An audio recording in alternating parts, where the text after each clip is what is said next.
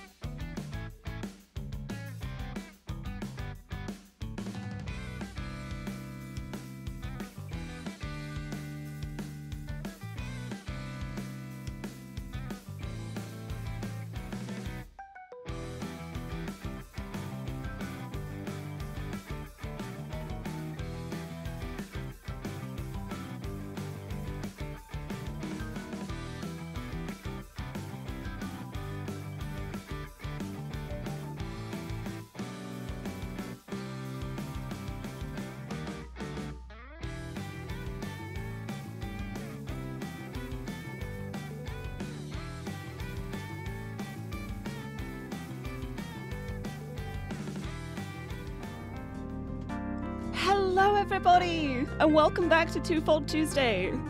Uh, you know how I said I wasn't going to have this post it note up because this was part of Millie's route, and I'm doing Caprice's route now? Um, I changed my mind. I feel like I need the post it. I feel like I need this post it note to give me strength to uh, overcome hardship and adversity and help everyone be friends again. Uh, therefore, I decided, you know what? I'm just, I'm just having it.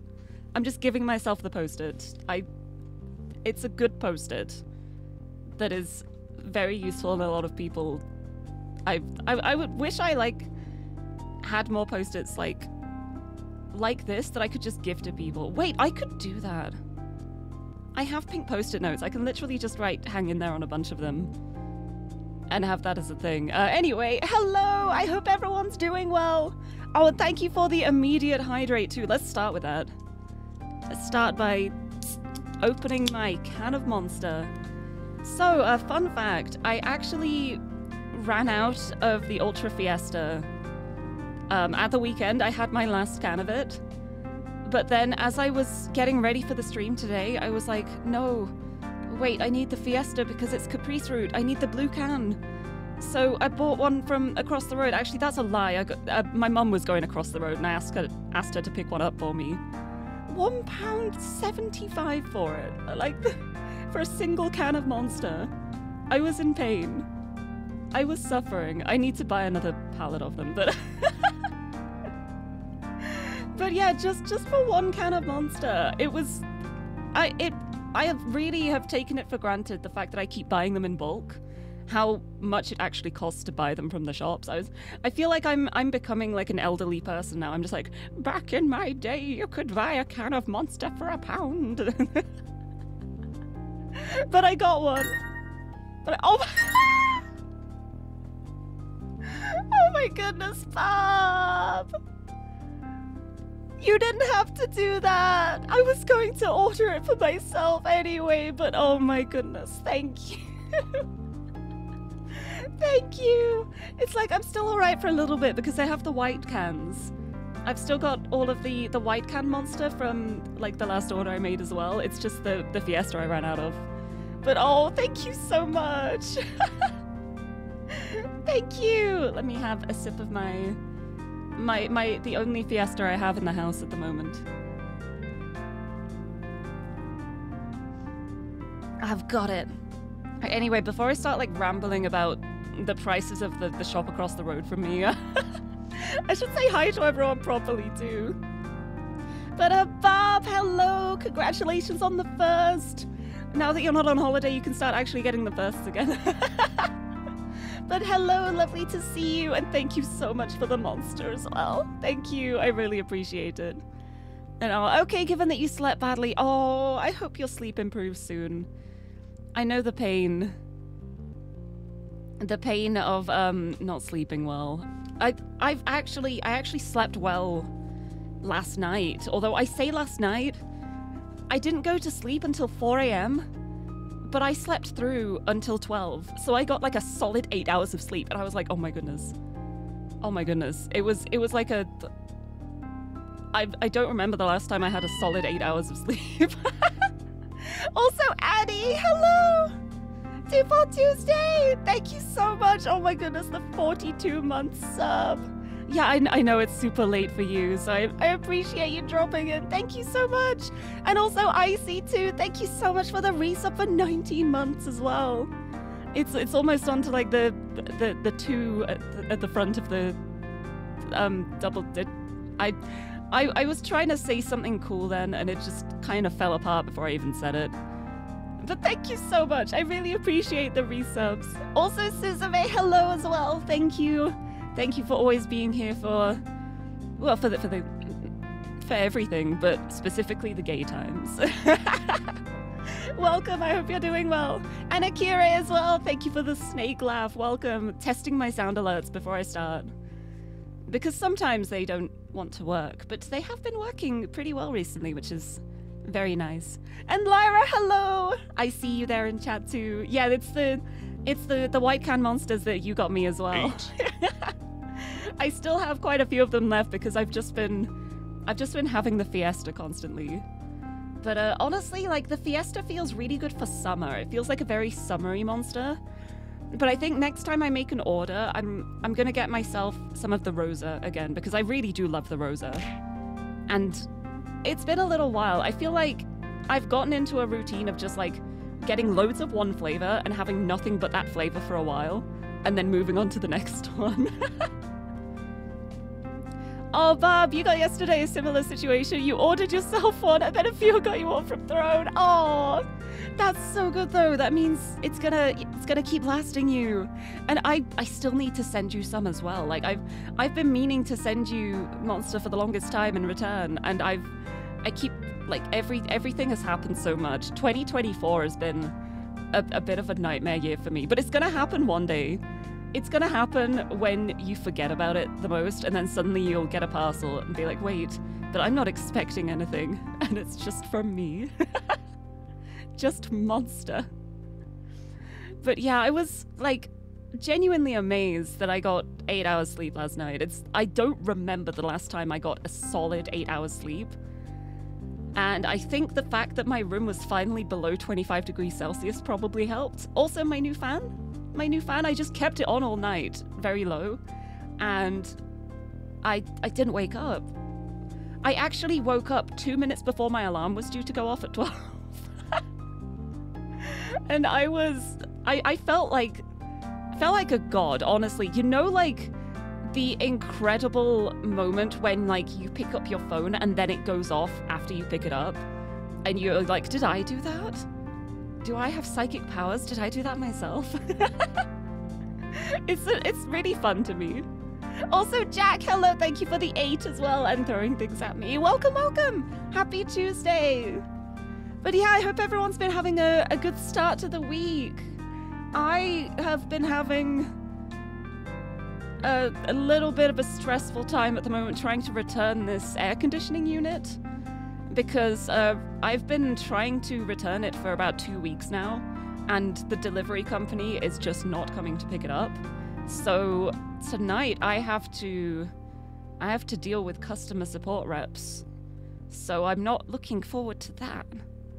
Which is why I'm very glad it's Twofold Tuesday and I don't have to think about that yet. Not yet. But at the moment, it's uh, someone else's pain, not my own. For your birthday, you say? No, hopefully before your birthday. Just a random surprise, like September. yeah, uh, the mix of customer support and the UK postal system. It's. See, it wouldn't be that bad, but the delivery company they're insisting on using is Evri. And for anyone who doesn't live in the UK, basically Evri is a delivery company which is known for not delivering things. Like, that is the reputation. They used to be called My Hermes. They had such a bad reputation as My Hermes, they rebranded to Evri, and the reputation somehow got worse. like, they don't pick things up, they don't deliver things, they don't update the tracking. Uh, three times now, I've had uh, tracking information that said, um, We tried to pick up your parcel, but the packaging was insufficient, and they didn't even knock on the door. Like, I was there refreshing the tracking page. As soon as it updated, I looked out the window. There's nobody around. They weren't here. so I'm now at the point where, like, I've had three failed collections. Like, three active failed collections that weren't just, like, ghosting and no tracking. Like they actually updated the tracking for all three of them. So now I have that as leverage to actually get a decent delivery company to come collect it. But I wasn't able to do that until I had the three failed collections. And I wasn't getting the failed collections because they were just ghosting me. so it's been a nightmare and it's been a little bit stressful too because um, the the money for the refund was kind of like tied up in that too. But uh, that's that's at least something that's dealable. Like the money side of things has been dealable thanks to friends. Thank you, friends. but yeah, it's been it's been a time. It has been such a time, and I I will just be really glad to have this thing out of here because the parcel has been sat in the hallway for two weeks, and it's really big. We keep having to like maneuver around it. Huh. But it's okay. I have my nice fan now, uh, which I have I have noticed such a difference in how I can deal with the heat with this fan. Like it still gets really warm in my room, but when I have the fan on, I can deal with it. Like it's not an unbearable heat, it's a bearable heat. it's like ideally it would not be heat. But if I if I can handle it, like I don't mind it getting warm if I can like survive through it so the fan has helped with that. So I'm I'm so I'm so grateful to my my biggest fan. it's a nice fan, and it's a quiet one too. I have it on right now, and you can't even hear it. It's so good. I specifically bought it because it was listed as a as a silent fan, and I was like, oh, less than 30 decibels. You say? I don't believe that, but I'm gonna buy it anyway, and it actually is amazing. Uh, now that I say September, yeah, it's. What day is it today? It's the 6th. It is a month until my birthday tomorrow. I refuse to believe that. I, my birthday has rolled around so quickly. I have nothing planned. All I know is that I do want to do a birthday stream. I, I've got nothing planned for it. I, I need to start thinking of things. It's probably gonna be. I think on the Sunday? Sunday, the 8th of September, because that's the day after my birthday. And I usually stream late on Sundays anyway, so that feels like it would be a, a good time to, to do my birthday stream. But yeah, I've got to start thinking of what I'm even going to do. Also, Caps, hello! You're awake barely, but you're here. Oh, I'm glad you're here. It's okay, I'm doing the, the pre stream yapping anyway to make sure you don't miss anything. Especially for you. but thank you so much. Hi. And Milo, thank you for the good luck as well. it's very appreciated. I'll, I'll figure something out. Happy birthday right now. It's it's not my birthday yet. It's just been Tiffany's birthday. It was Tiffany's birthday last week. She's 12 now. Like, uh, the thing is with Tiffany, she was a rescue cat, so we don't actually know exactly when her birthday is, but it was estimated to be early August. So we decided, all right, you know what? I'm naming you after Tiffany from Girls' Generation. Tiffany from Girls' Generation's birthday is August the 1st. You're sharing a birthday with her. so now we celebrate Tiffany's birthday on August 1st because we know it's like around that time, so it's close enough. But yeah, and she got yeah, she got the birthday present from Barb as well. Cause the the catnip rainbow arrived. And when it arrived, I had a moment of like, oh, you know what? I'm gonna save this and give it to her on her birthday. And she was she loved it. She was so happy. It was really nice. Oh yeah, and Tiffany and Olive share a birthday. It's I love that so much. I love that like I I was I was told that Olive's birthday was uh, August 1st. And in my mind I totally did not connect that that's also Tiffany's birthday until like later on in the day. And I was like, "Wait, they share a birthday. That's so cool." They're all they're both very cool as well. So it it's it's always so fun finding out when uh, fictional characters share a birthday with you. I think I share a birthday with a with a Genshin character like a. Which which Genshin character is it? September seventh, Genshin. Chongyun.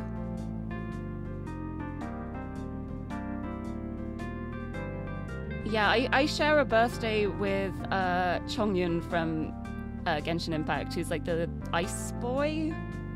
I never got to that part in the game, so I d- I don't actually know who the character is, but I always think it's so cool. I'm just like, yeah, we're birthday buddies. the cold one, he melts just like me, yes! Oh, the, the, the shared mod brain cell as well. I love that. But, oh, I... Wait, I just realized too, like, Addie, you're gonna be heading to bed. Caps is just waking up. The cycle continues. The power of time zones. Someone is always awake somewhere.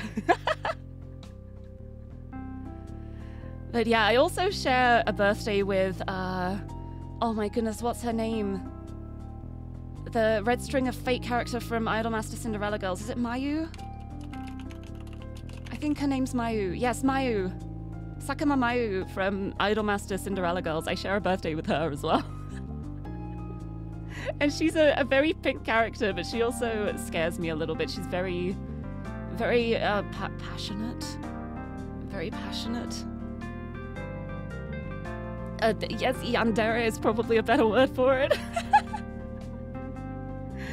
but yeah, she's she's um she's not as scary as some yandere characters, but she definitely has her moments where like I I look into her eyes and I have to look away. but yeah, I always think it's really cool finding like shared birthdays with fictional characters. And also non fictional characters too. I think who else do I share a birthday with? Is it Gloria Gaynor? Yeah, I also share a birthday with Gloria Gaynor. Which is very fun.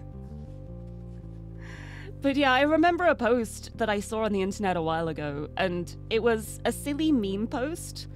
And it basically said, uh, look up celebrities who share a birthday with you. Uh, one of them is going to be the assistant you have in the zombie apocalypse, do you survive? And it, it like it set itself up for me. I just I was immediately like, well, I have Gloria Gaynor, so I will survive. so I'm fine. I'm sad. And then um, it was either my mum or Xander got um, I've forgotten her name. The actress who plays Buffy the Vampire Slayer. Ah, I've forgotten her name. I'm so bad at this. Sarah Michelle Gellar. Yeah. Sarah Michelle Gellar, yeah, shares a birthday with Xander. And Xander was just like, yeah, I'm fine. I've got Buffy.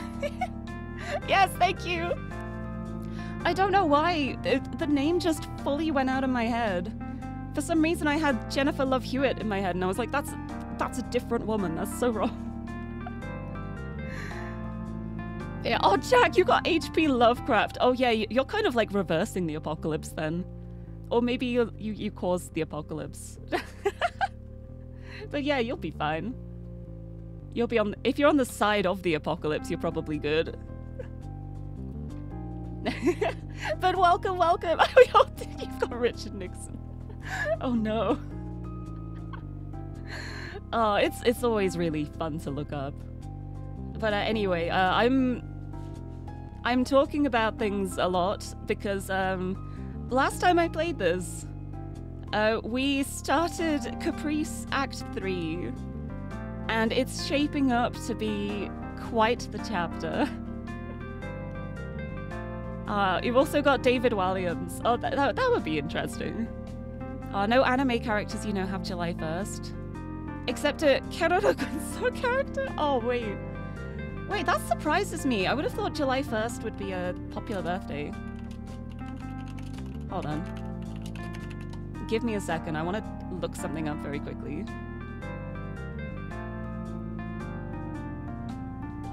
Wait! Wait, Milo, you, you share a birthday with one of my favorite Idolmaster characters, uh, Kanade Hayami from Cinderella Girls. She's so cool. She's so great and cool and amazing, and her birthday is July 1st. So you share a birthday with her. oh, oh, Jack, and uh, also Linus Tech Tips. Wait, that's that's amazing. Uh, you know who you share a birthday with? I, I feel like you probably share a birthday with some very cool characters, Barb. No, Addy forgot Kanade's birthday. No, it's okay. What you do is, uh, you'll you just use the whole year to make like a fully pol polished art piece for next year, and be like, the reason why it's two years late is because it's beautiful. it's okay though. I also forgot to celebrate Frederica's birthday this year. I'm a sham. I'm a sham Cinderella Girls fan. She's one of my favorite characters in any kind of media, and I forgot to celebrate her birthday. But it's okay. Yes, Kanade is one of Addy's favorites. It's great. I, I, I love one of the things I really love about Idolmaster is that there's so many characters. So there's probably one you share a birthday with. It's great. May you post a link? Yes, please do. Please do. You are welcome to post as many links as you like. I, I'm pretty sure it should let you. Pretty sure it's set up so it'll let you. Yes, there she is. Yes! Oh my goodness, you did the one with Frederica too. Yes, hold on, let me show it on screen. I show it on screen very quickly. There they are. Hee hee Kanade's the one with blue hair, Frederica's the blonde one. And uh, Freddy's my favorite. Fure-chan. I love her so much. She's been one of my favorite fictional characters for a very, very long time. And I actually have a little, like, merchandise shrine set up to her. I've got so much Frederica Miyamoto merchandise. I love her. But look how cool they are. Look how cool they are. I love them. Oh no, this is the this is the official art from the game. But uh, Addy has done some really beautiful art of them too. It's, so good. Yeah, it's it's how me and Addy actually became friends. Like we knew each other through like adjacent circles, and then we bonded over our shared love of Idolmaster Cinderella Girls. and that's how we started talking more. And uh, the rest is history. We've we've been friends for I, I'm not going to think about the years because time is fake, but it's been a while. But yeah, I love it. I love it so much. Like, honestly, I miss the days when I was like really heavily into Idolmaster because it was, it was fun. There's something so fun about just like a shared love of idols. It's I love them. but yeah, the those uh, uh, Frederica's birthday is also Valentine's Day as well, so it's it's another reason why I have like no excuse for forgetting it.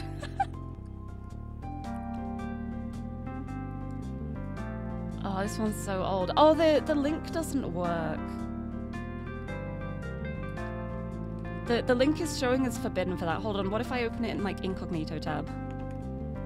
No referring URL. No, it still doesn't work. Okay.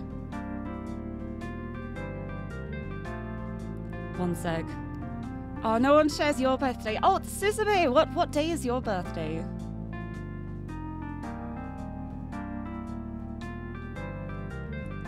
Which which day is it? September 27th? Da da da da. Oh wait, no, there's 26th and 28th. Oh my goodness. Why is there why did why is there no one for September 27th? That's so sad. Oh, there also isn't anyone with a birthday on September 8th as well. I was close. Also, Bob. Oh my goodness, wait, you share a birthday with L. That's so good. L from Death Note. I love that. Wait, sorry, I, I missed the comment because I was I was distracted by idols. but that's that's a great person to share a birthday with. I love that. Uh Death Note was like one of the first serious anime shows that I watched. It's it, it was like how I became an anime fan. Uh, funnily enough, I, I actually remember it really vividly. Uh, the way that I got into Death Note was I found, I'm pretty sure it was a game on Newgrounds. I was looking up random dating sim games on Newgrounds and I found a random Death Note dating sim game. And I looked up the series through that, and like the, the series was nothing like the game I played. The game I played was a very like almost AU, but not quite. Like very like apart from the events of the show. So I went into Death Note knowing a little bit about these characters through this random game I played. And then suddenly it was just like, oh yeah, this this guy is killing people. okay, all right. I'll, and I actually really enjoyed it. There's the link. Yes. Oh my goodness, I remember this art. I I have a print of this. I'm pretty sure. Is it this one? I'm pretty sure I have a print of this. Hold on. Where is it? I do. I. I think I'm pretty sure I have a print of this. It, yeah, I do. It's it's on the side of my bookcase. Oh my goodness. yeah, next to my um uh Analogue: A Hate Story print as well. I've had those prints on the side of my bookshelf for a while. That's so cool. But yeah, let me let me show this quickly too. Let me resize it very quickly.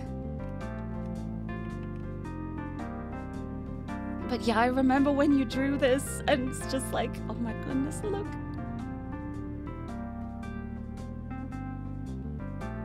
Look how pretty it is. It's like even the art from so long ago, although it's so, so interesting to me looking at this and seeing how much your art style has like evolved and adapted and grown like I'm I'm a fan of all of your art, but like you when you when you place this next to like things like my model,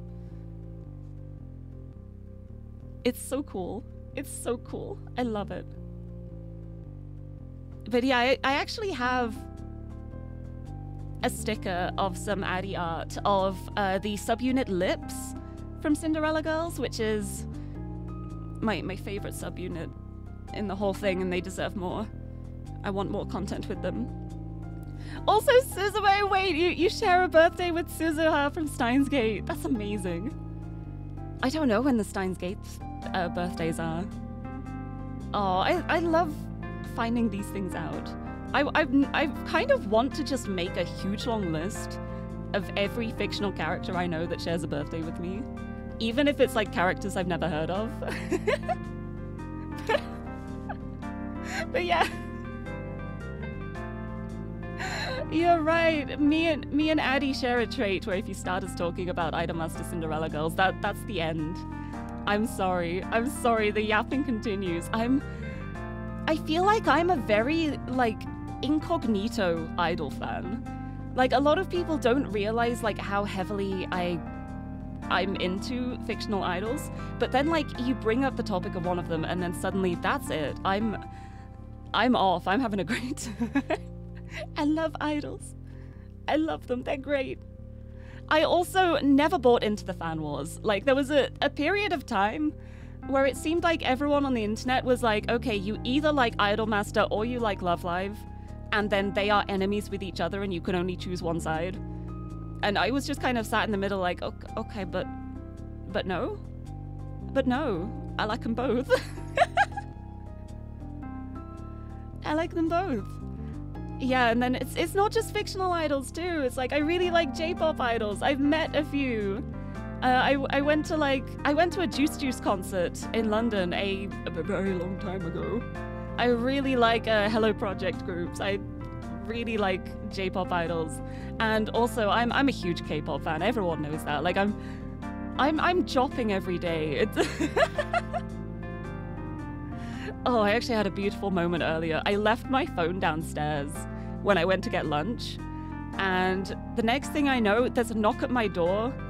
Uh, Xander uh, is up here with my phone, handing it out to me, and he just went, "Your phone was jopping in the kitchen." Because I have it set as my alarm tone. and the alarm went off and I'd left my phone downstairs. So just suddenly out of nowhere, Jopping started playing in the kitchen, and it's just kind of become a term now that we use. It's just like, oh yeah, your phone's jopping. Just a very matter of fact thing because it happens so often. but yeah, anyway, um, I love idols. I got very distracted. But it's okay, it's Caprice time.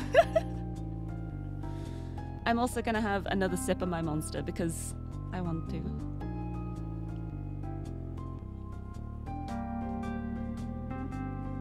Anyway, yeah, I love idols.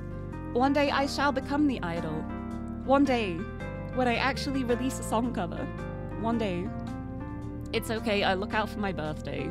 Wink wink. Things may be planned for my birthday. I, I, I lie. I say I didn't have any plans for my birthday stream. I do have one plan. A thing that I am working on. Milo knows what it is. Addie also knows what it is because I sent it to her.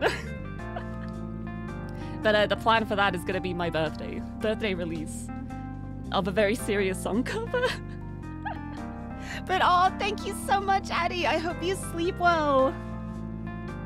Thank you for the idol distraction but yeah, it's um, it's just a little thing. But I figured if I can start releasing little things, it'll make the bigger ones feel less intimidating. If I already have something like under my belt, so to speak, like I've already done something. So it's basically like I feel like at the moment my main problem is I am trying to step right to the top of the stairs without taking any steps in the middle this is going to be my first little step on the stairs to make it so that the top is not an um, impossible goal to reach. anyway, feelings. Feelings time. No, wait, Milo. Yeah, recently I've been. Uh, I just finished watching The Dragon Prince, which is a really, really cool Netflix show, which I really love. And I've been watching it with The Cabbage Garden. And we just finished season six of that yesterday, and that was an emotional time. So I'm ready for another emotional time. I'm here. Give me all the cathartic tears. I'm here for it. I'm ready. Yeah, the stairs. I'm taking a step. Instead of jumping and being like, well, I didn't reach the top, I give up, I'm actually taking a step. And I'm proud of myself for it. Oh, that's why you started doing 3D art for people. So you can fake it till you make it. Wait, but you're not faking it. Your 3D art is great. it's not it's not fake if it actually looks good. Like that's that's just um practice and progress. but yeah, it's uh it's always good to just like create things. It's something that I say to other people and then I don't take the advice on board myself because I'm silly but it's always better to create things than to create nothing. It's uh, it's actually the phrase. Uh, the phrase is like if if something's worth doing, it's worth doing badly. The first time I heard that phrase, I was like, well, that sounds silly. Because if it's worth doing, you don't want it to be done badly. That's bad. But it wasn't until like actually fairly recently that I realized the meaning of that phrase is actually like if something is worth doing, then it should be done anyways. Because even if you do it badly, it's better than it not being done at all. Like, doing something at a low level is better than just not doing it. And if you always go like, well, this isn't going to be perfect, therefore I'm not going to do it, then you don't do anything. so it's all about just like doing little bits, like building up. Just create. Even if you think it's awful, you'll you've still created something, and the next thing will be better. And then the next thing will be better than that because you have more practice, etc., etc. So that's what that's what I'm doing. I've my my little plans. But yes, oh, thank you for the lurk as well. Thank you for the lurk, Milo. I hope you have a, a good rest of your Tuesday as well. Yeah, we're in this. We're doing it. We're doing things. Oh, wait, Lirie, it's also Chica's birthday. Oh my goodness, I didn't realize that. Yeah. Yeah. Oh, thank you for the bits. they are very appreciated. But yeah, it's it's just good creating. Not everything needs to be perfect. Yes! It's also like. It reminds me of the thing I see a lot online as well, which is just like. It's a, a comic that someone made, and it's an analogy that's just basically like somebody's made a cake, and then they look at like a professional cake from a, a five star bakery next to them, and they're just like, well, my cake is rubbish next to this cake nobody's gonna want my cake when this one's right next to it. And then another person walks along and just goes, oh, sweet, two cakes. it's like, and it's also the thing like, look, the other cake might be really fancy, but maybe yours is made in a flavor that another person prefers. Like, everyone has different tastes. Just because somebody else is a professional doesn't mean that doing something non professionally won't appeal to anyone. It's it's always worth making that cake, basically. Anyway. anyway, I'm ready to continue Act 3. I'm so scared. I love that I called this page Caprice and everything is fine. Everything is fine. This scene is called Making Distance. I'm not worried. I'm a little worried. Because I've got to say, one thing I find really interesting is the fact that Millie's Act 2 was very full of despair. It was very negative. And then Millie's Act 3 was like more her coming to terms with things and things looking up. Caprice's has been the opposite way around. Caprice's Act 2 was all about her hope that she could fix everything, everything getting better. She was so sure that this was going to work. And her Act 3 is her like sinking lower, and it's it's so it's so much. It's so much. It's so much. Yeah, exactly. If if you compare yourself to people who have been like doing this their whole lives and you've only just started practicing, then th- it's you're probably not going to be as good as them until you like get a bit more practice, build up that skill level. It's it's always bad comparing yourself to other people because, like, there's. Unless you are, like, the most perfect person in the entire universe, there's always going to be someone out there who's better at something than you are. and that's fine. That's not a problem. Like, someone else being better doesn't mean that you're not good, if that makes sense. Anyway, let's. Let's start uh, making distance. Although I suppose if it's just distance, between Millie for a while so that Millie gets her space. That's not too bad.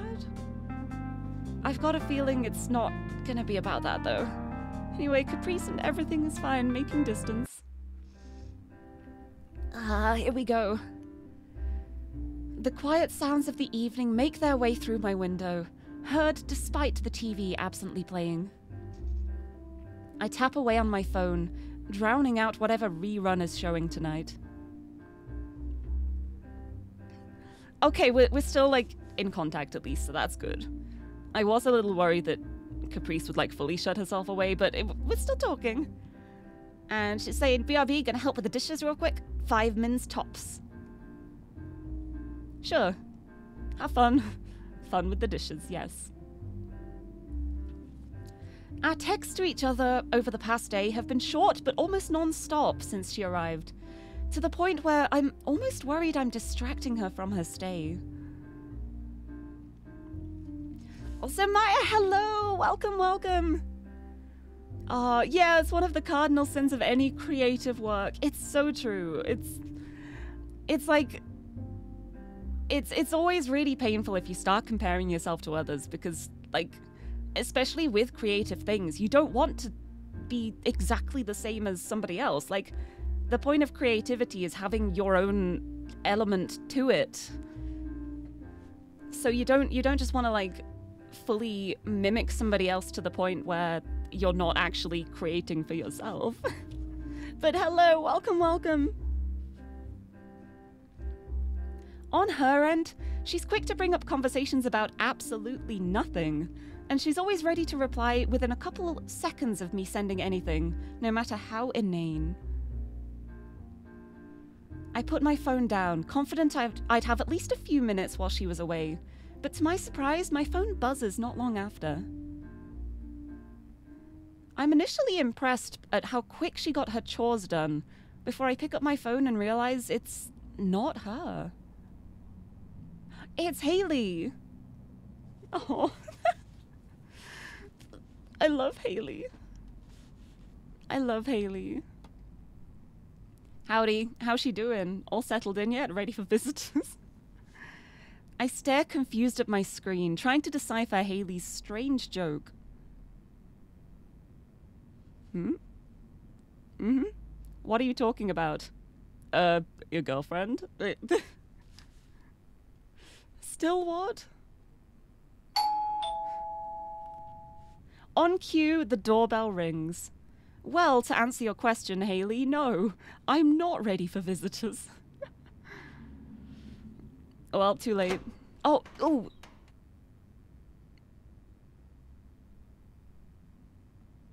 Hello?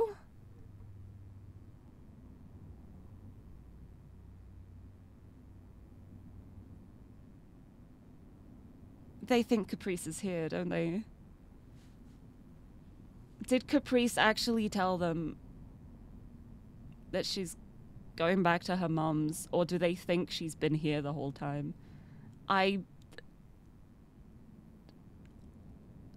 Ugh.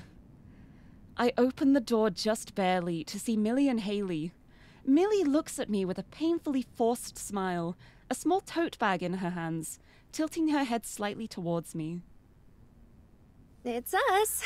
Just oh, came to drop off a couple no. housewarming gifts. Um, and uh, talk to Caprice, uh, of course. She didn't tell them. I mean, like, we, we know that. We already know that. Like, she didn't tell the art club. Of course she didn't tell Haley and Millie. Like, the last they know, she stopped off here. They probably just thought she's been staying here if she's not been going home. They don't know. Oh, I... Ow. Ow. It's cold. Let us in. Oof. My apartment isn't much warmer, but I concede enough to let them in before closing the door behind them. I turn back towards them, trying to figure out exactly what's going on. As Millie walks through, she calls out to the empty apartment. Caprice, it's me. and Haley, I was thinking about that painting and, um, I think you were right. Wanna hang it up together? Mm. No. Why? Immediately. Immediately pain. Immediately. Instantly. Oh my goodness. Okay.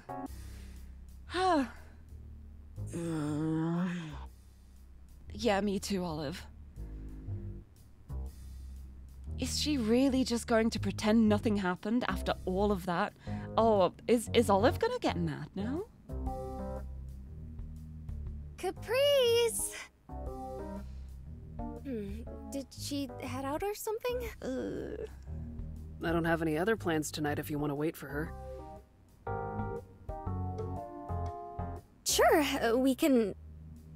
She's not here. Millie and Haley snap out of their own personal worlds. My tone surprises me, too. Yeah, this is such a mood. It is such a mood. Oh, it's so painful because this is this is like what Caprice wanted. But it's happening like she's not recognizing how much harm she caused because even if even if it's unintentional even if you don't mean to hurt someone if you hurt someone that hurt doesn't vanish. You can't just like pretend it didn't happen.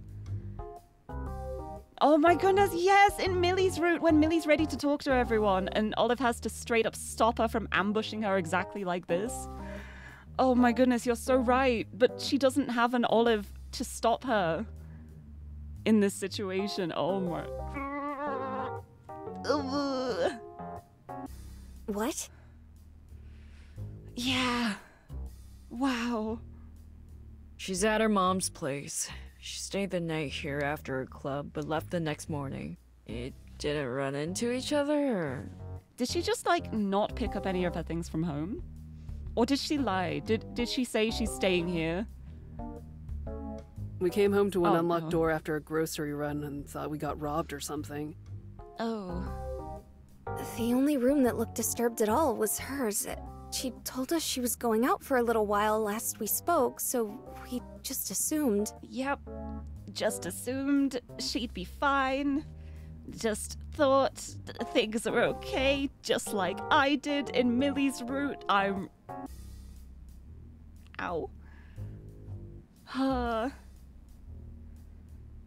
Uh, you also intended this to be like Millie maybe not having the full realization that she did in her path yet. Yeah, her saying you were right about the painting actually is more like, okay, I'll give you this. Can we go back to normal? Yeah, it's it's not like a full full recognition moment. It's I I, I get the impression it's because Millie can see how awkward it is and she doesn't want to deal with that. So this is like her like, okay, I can use this as a stopgap to like put things back to the the tentative okay that they had before while still not dealing with anything. It's, it hurts. It hurts. Going out for a little while. She didn't tell you anything? Of course she didn't. Obviously, if she did, we wouldn't be here. Of course Caprice didn't tell them everything. Every time Caprice tries to speak to Millie, Millie starts an argument or shuts her out. It's. If this is how the two have been trying to solve things, it's no wonder their argument has gotten to this point. Yep. Yep, pretty much. Yeah, just trying to put a band aid on this situation. Yeah, it's. It's. It doesn't. It doesn't work if you don't treat the, the root cause. Sanyamita, hello! Thank you for the hydrate and posture check. Let me have a big stretch. Ah. Ugh. Yeah, okay. Sorry, that, that was like a, a vent my frustration stretch as well. but you know, like sometimes when you stretch your arms up really high and you're just like, ah, you just kind of want to make a noise with it. Maybe that's just me. Maybe I just like making weird noises. but thank you for the hydrate too.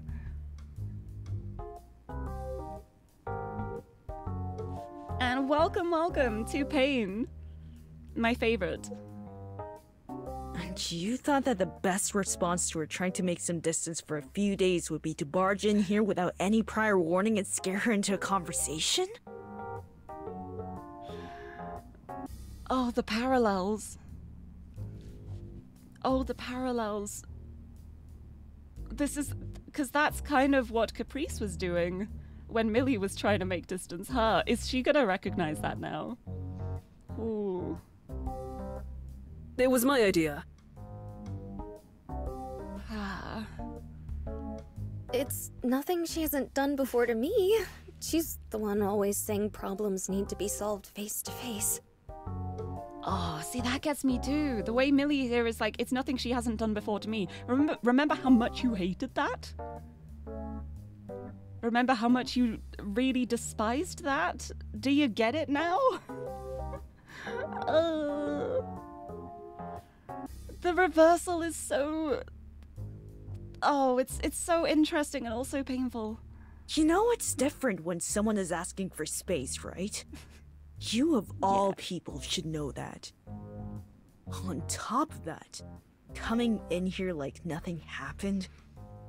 Do you have any idea how horrible she feels about Christmas? Do you want her to just pretend everything's okay?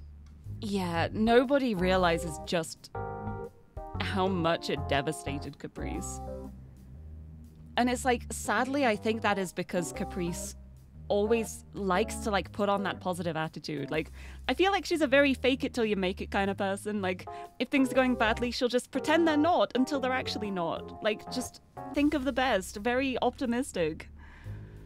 But because of that, people always assume that she'll be okay and she'll just bounce back from everything. But but this was like this was a big thing. I don't think Millie realizes just how big it was. Like just how hurt she got. So I hope she can realize here. You never try to explain anything, and when we do finally get you to open up, it's all a big contradictory mess. And here Millie is. After screaming that she wanted Caprice out of her life, she's here sweeping everything under the rug and trying to make amends with a portrait that she hated just a few days ago. Yeah. Kinda wanna cry right now. Honestly, that's been me through this whole game.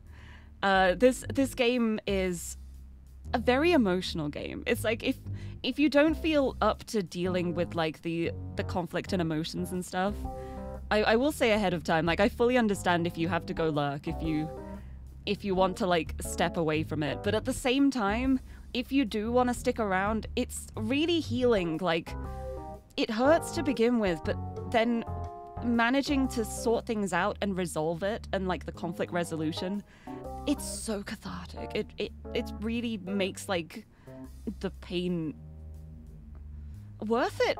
It that's kind of a weird way to word it. I don't think I worded that properly. but it's I, I find it very healing. I find this game very healing. Also really good for like realizing things about myself, honestly. Hey, Don't you hate me, Haley? You know I'm right. Haley's voice is cool, but there's an edge of warning to it. I feel the lingering need to say more, try and make her see how much she's hurting the people around her dissipate. At the same time, my phone buzzes off. I take it out, trying to give myself a moment to collect my thoughts again. Back! All the little, little smiley faces. Ah! Nah! You there? Oh no, six minutes. Oh my goodness, that's so long. Olive. Yeah, yeah, that's that's fully understandable, Barb. Thank you for stopping in though, and thank you so much for the monster again. I I really appreciate it. but I hope you have a good luck. Have a lovely rest of your Tuesday as well. And uh, if if you're feeling really bad, just know they will work things out, and it is going to be okay. And I can say that with confidence from the bottom of my heart. So, so at least there's that to hold on to. But yeah, it is. It, it's it's a lot to go through. So I I fully understand that. But thank you for lurking. You there? I was trying to figure out what this was for a second, and I realize now it's like a little blob with a question mark. I thought it was like smoke to begin with, like a like a soul escaping. but it's not. Also, I love these emotes. Yeah, sorry. I take a deep breath. Obviously, they're here to talk to Caprice. I won't ask her to oblige, but at the very least, I want to give her the chance. I know I'd want to know if someone came looking for me. Hey, you free to talk right now? Like, over voice, I mean. What's up? Gonna give her a call. Mm-hmm. I wanted to ask first, though. You know, common etiquette stuff. Bob. A barb. I, I meant more like like a barb, barbed wire strike. Like not the cool barb, a, a painful barb. My frustration is starting to, to subside, but it looks like just enough managed to hold on for me to. Oh, but it looks like just enough managed to hold on for me to glare a couple daggers at the two. Eventually, my phone starts ringing. Guess that's a yes. It doesn't take me more than half a second to answer. hey, Oh, the. Oh, but the gentleness in their voice when they pick up is. I'm so glad Olive exists. I'm so glad that Olive exists. But Lirie, they're a fictional character. I'm so glad Olive exists. yes. Ooh, I love them. Hi! It's so good to hear you. It's been such a busy day, it feels like it's been forever. Haley and Millie are perfectly still, as if to avoid Caprice's non existent gaze. So, what's up? Just miss my voice that much? Um. it'd be nice to chat if you want to for sure. But I'm actually calling because I got some guests over. Ha. Oh, I feel like she can probably guess. Seems like that was enough to clue her in on what's happening. I turn my head back to the two home invaders, only for Millie to avert her eyes. Yeah, they were worried you ran away or something. I guess I did. Mm. Even if they're a fictional character, they still exist. Yes, thank you. They're they're real. I specifically told them it was just for a bit so they wouldn't worry, but I guess I just made them your problem instead. Oh, no, Sorry, Ollie. it's okay. It's fine. Olive, can you put her on speaker? Not unless she wants to be. I'll ask. Hey, Caprice.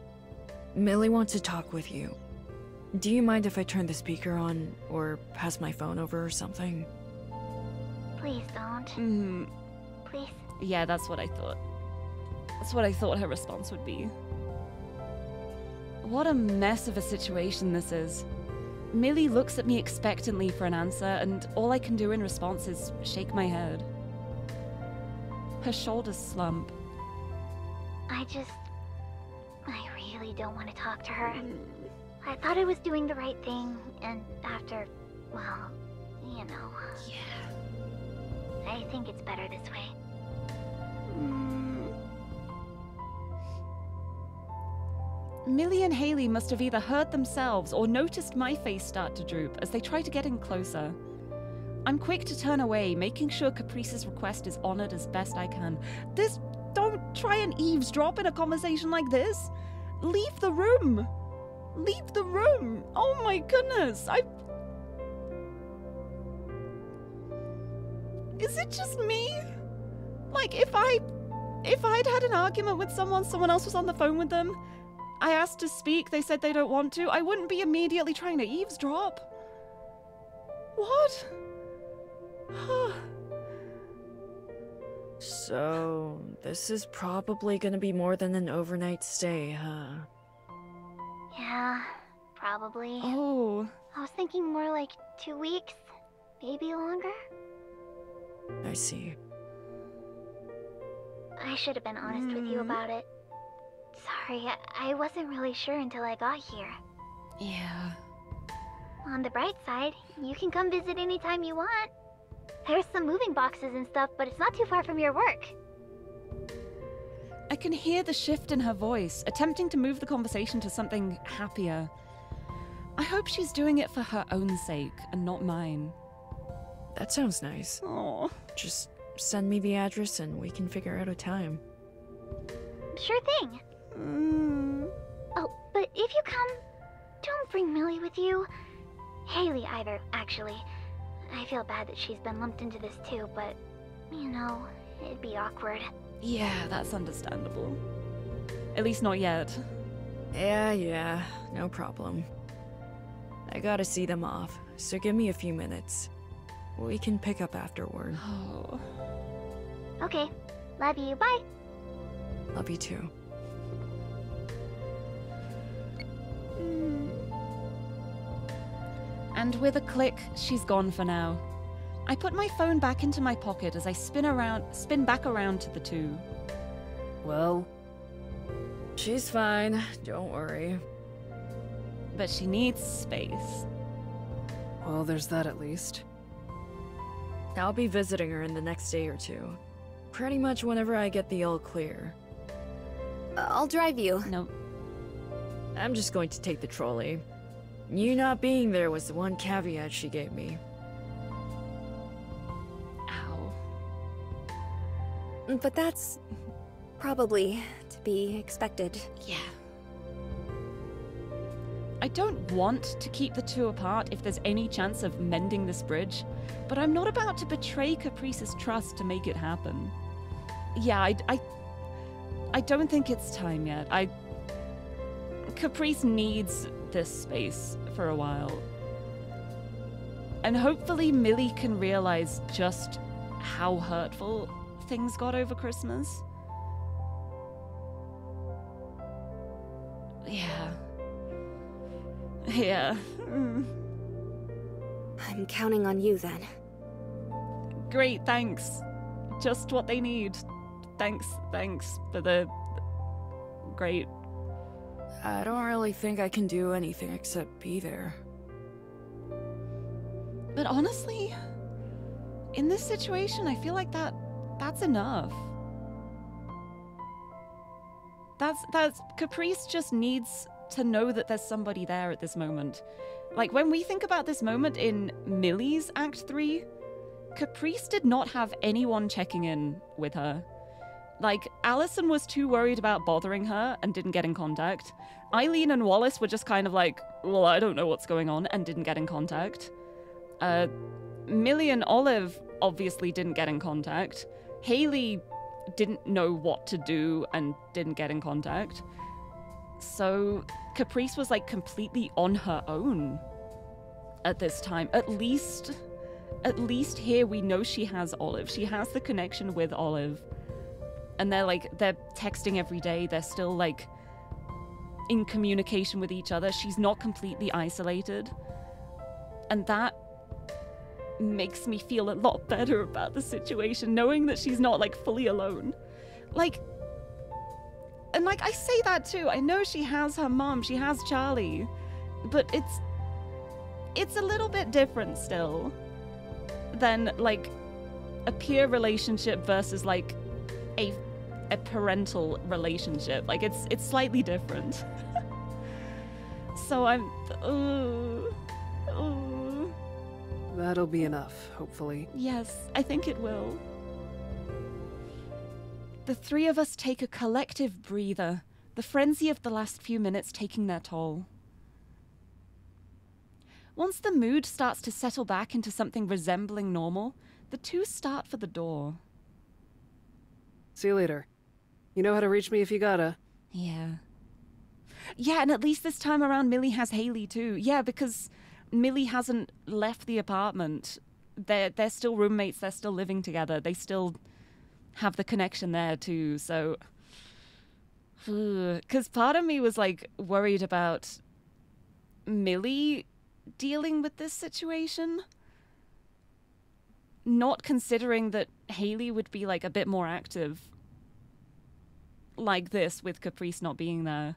It's really interesting how things can change so much just from a a few a few small things. Will do. Something is still bothering me. I hope I can communicate better than earlier. Millie, Do you have a second? Millie stops at the door as Hayley exits, and they both look back. After exchanging a look, Millie nods, assuring Hayley she'll be right there. If it's about barging in here, I'm sorry. Wallace said she had left with hmm. you after the club, so I just. It's not about that, no. I sigh.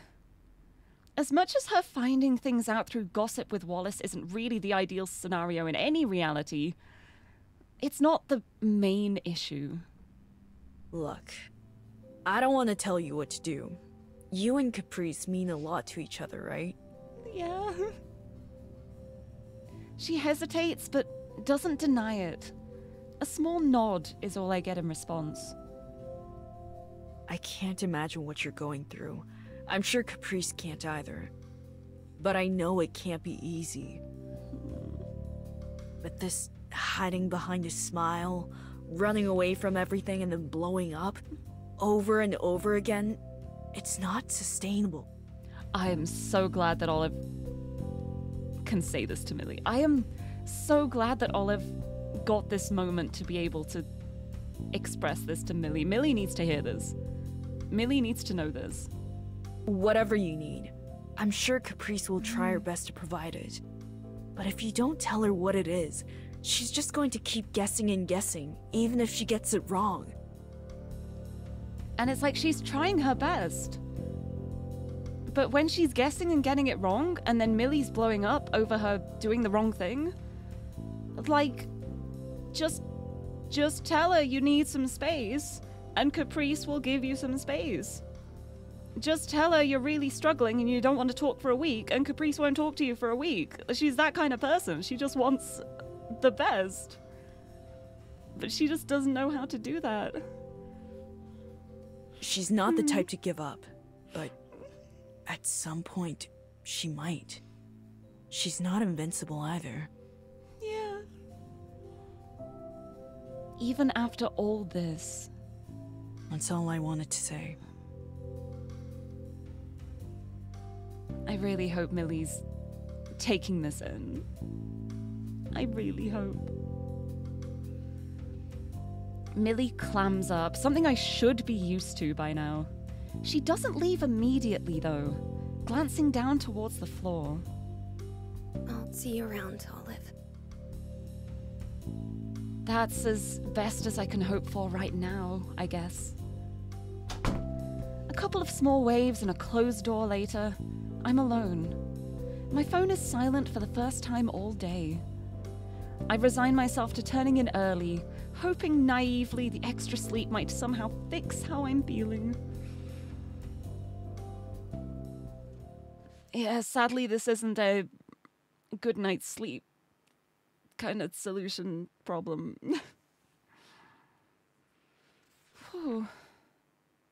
The next day. Ah.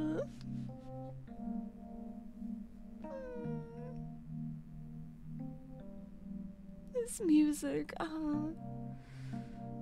Alone on the trolley, it feels so strange.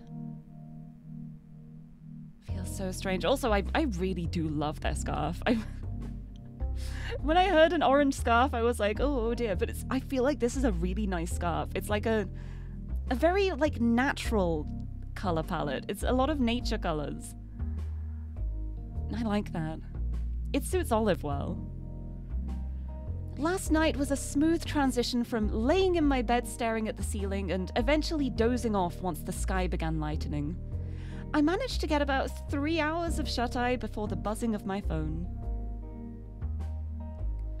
It was easy for me to push through the exhaustion as I was rushing out the door, but after a long and unusually crowded trolley ride, I'm finding the exhaustion slowly catching up with me. I'm on my way. Eh, excitement! I'll be waiting! Yay! Still got like 20 min. Exactly. See you soon.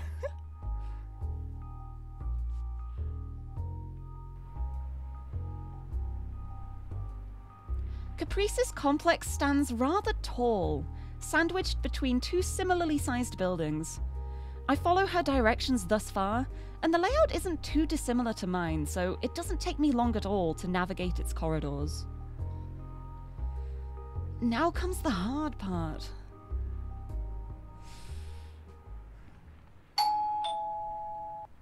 Oh!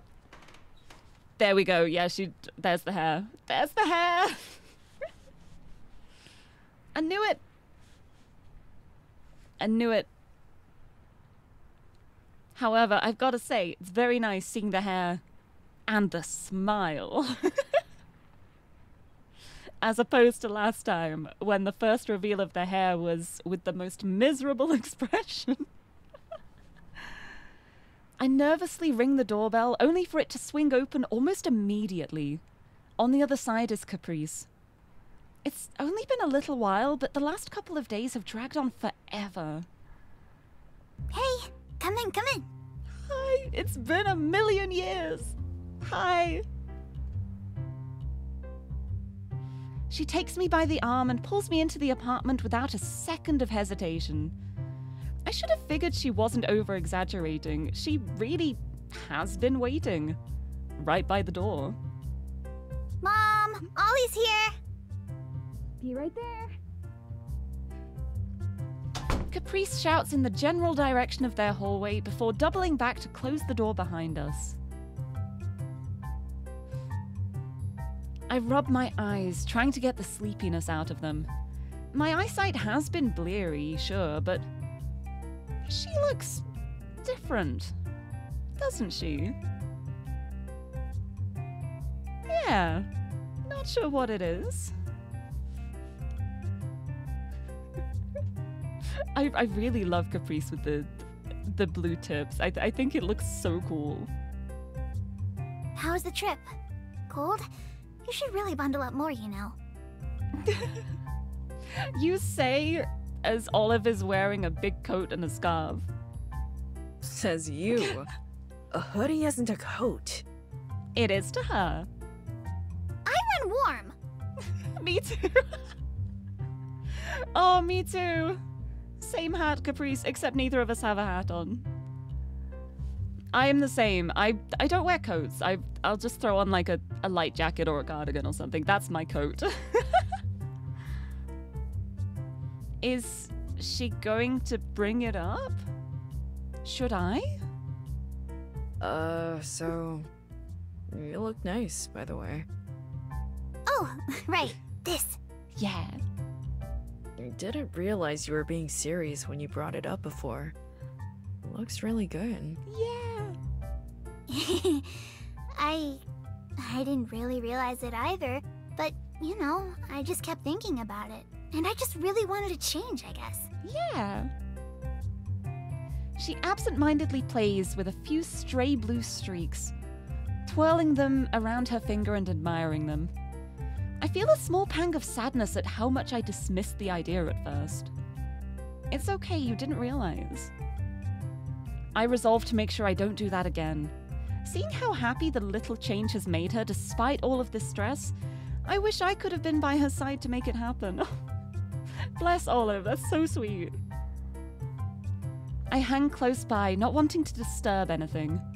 I have to lift my elbow a bit as I move aside, trying to avoid toppling over any boxes. Anyway, thanks for coming. I.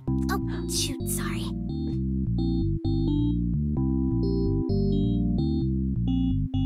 Caprice's phone starts going off, and she holds up one finger in a small motion and glances at it. Who dat? Who dat? Who was phone? Also, Gregor, hello! Welcome, welcome! Welcome on in, welcome to um happy fun times with a side of emotional devastation. How's it going? Happy Tuesday! Her face falls when she looks at the screen. Rather than answer it, she cancels the call. There's very few options of who it could be to give her such a reaction.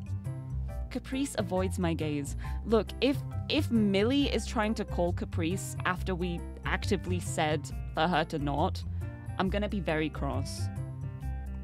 I can give you some space if it's important. Nope, not at all. Mm-hmm. Her phone buzzes a few times in her pocket. If she's purposefully been doing this, the surprise visit last night makes a lot more sense. I can't comment on it though, as not even a moment later, Charlie emerges from a small door in the hallway. Hi, Charlie! She settle she sets down some packing tape on a nearby shelf as she approaches. Me too, Suzume. Me too. Hi again, Olive. Nice to have you.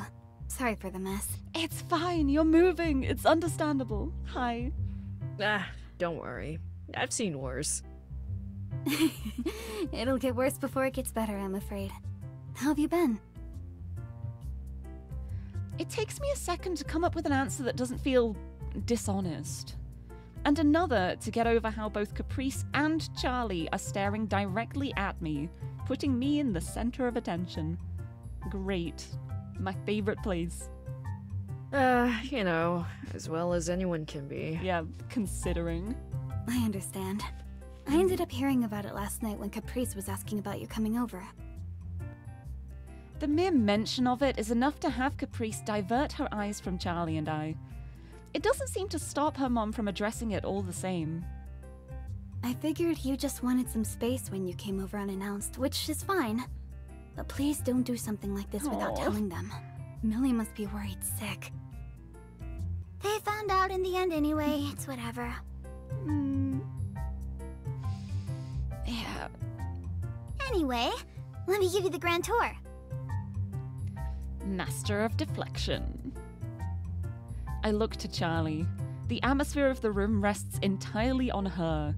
She catches me staring, quickly masking her melancholy with a smile. Go ahead. This place is tiny, though. I can't imagine it being all that grand. Any tour can be grand if you do it in a grandiose way. oh, this must be really hard for Charlie as well, though. Because it's like.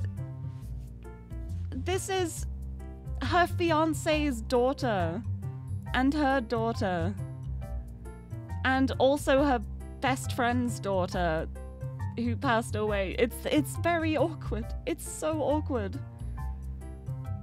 Oh, I feel so bad for her. I just want to give Charlie a big hug.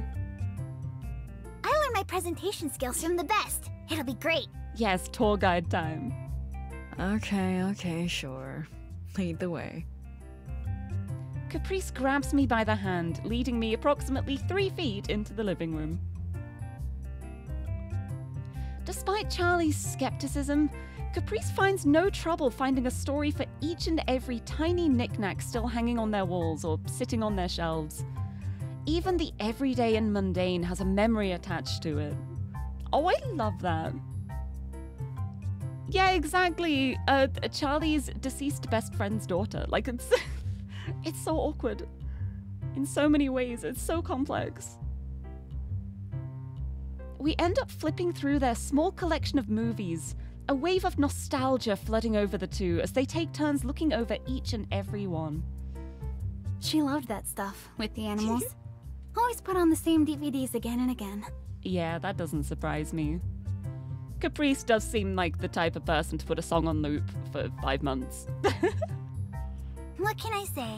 I liked what I liked. And if I didn't choose the movie, Mom would put on something boring. Like a cartoon. Exactly! You're bad luck! You only got the boring episodes. It doesn't take long from there to move to their kitchen area, consisting mostly of the usual appliances and a small table tucked away in the corner. The place is already tiny, but it feels like we lived exclusively in the kitchen a lot of the time. That table specifically. The homework table. Ooh. Ugh.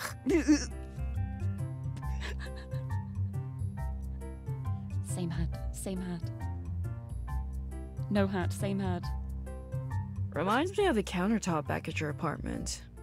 I don't think I ever got a chance to see it without it covered in books and notes. That's kind of cute, actually, that like Caprice always grew up with like the kitchen table being for homework, and she's kind of just carried that through with the rest of her life as well. Just like, well, this is the kitchen counter, therefore it's for homework.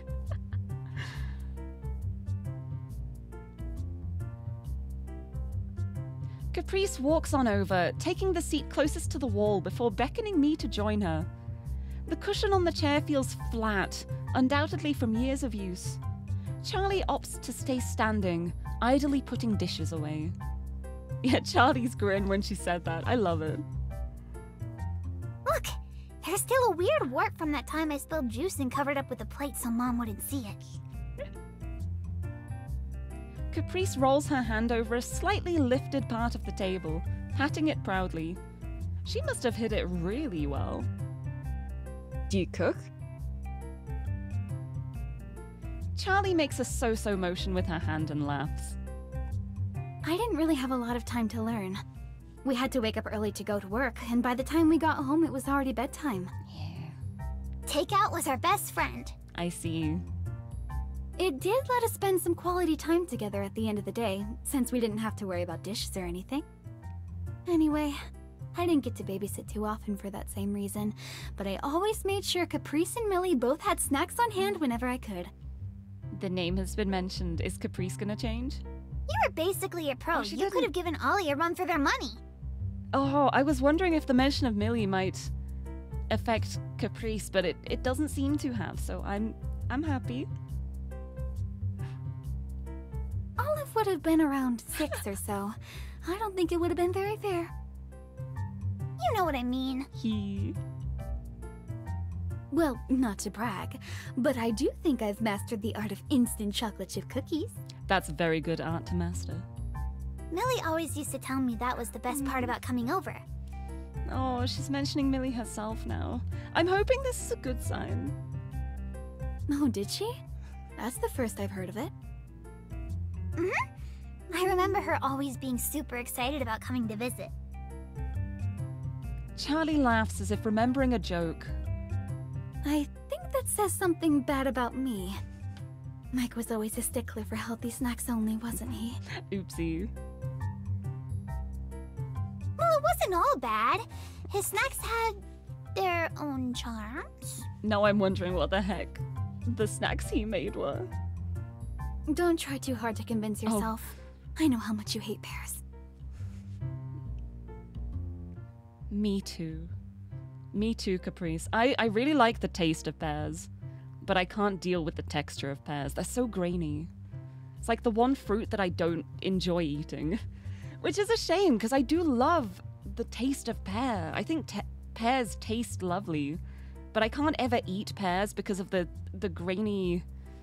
They they always feel like they've kind of been like coated in sand to me. Like it's it's that horrible kind of.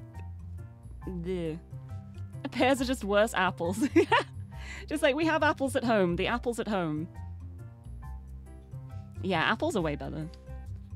I'm a big apple fan. Mostly the um hmm.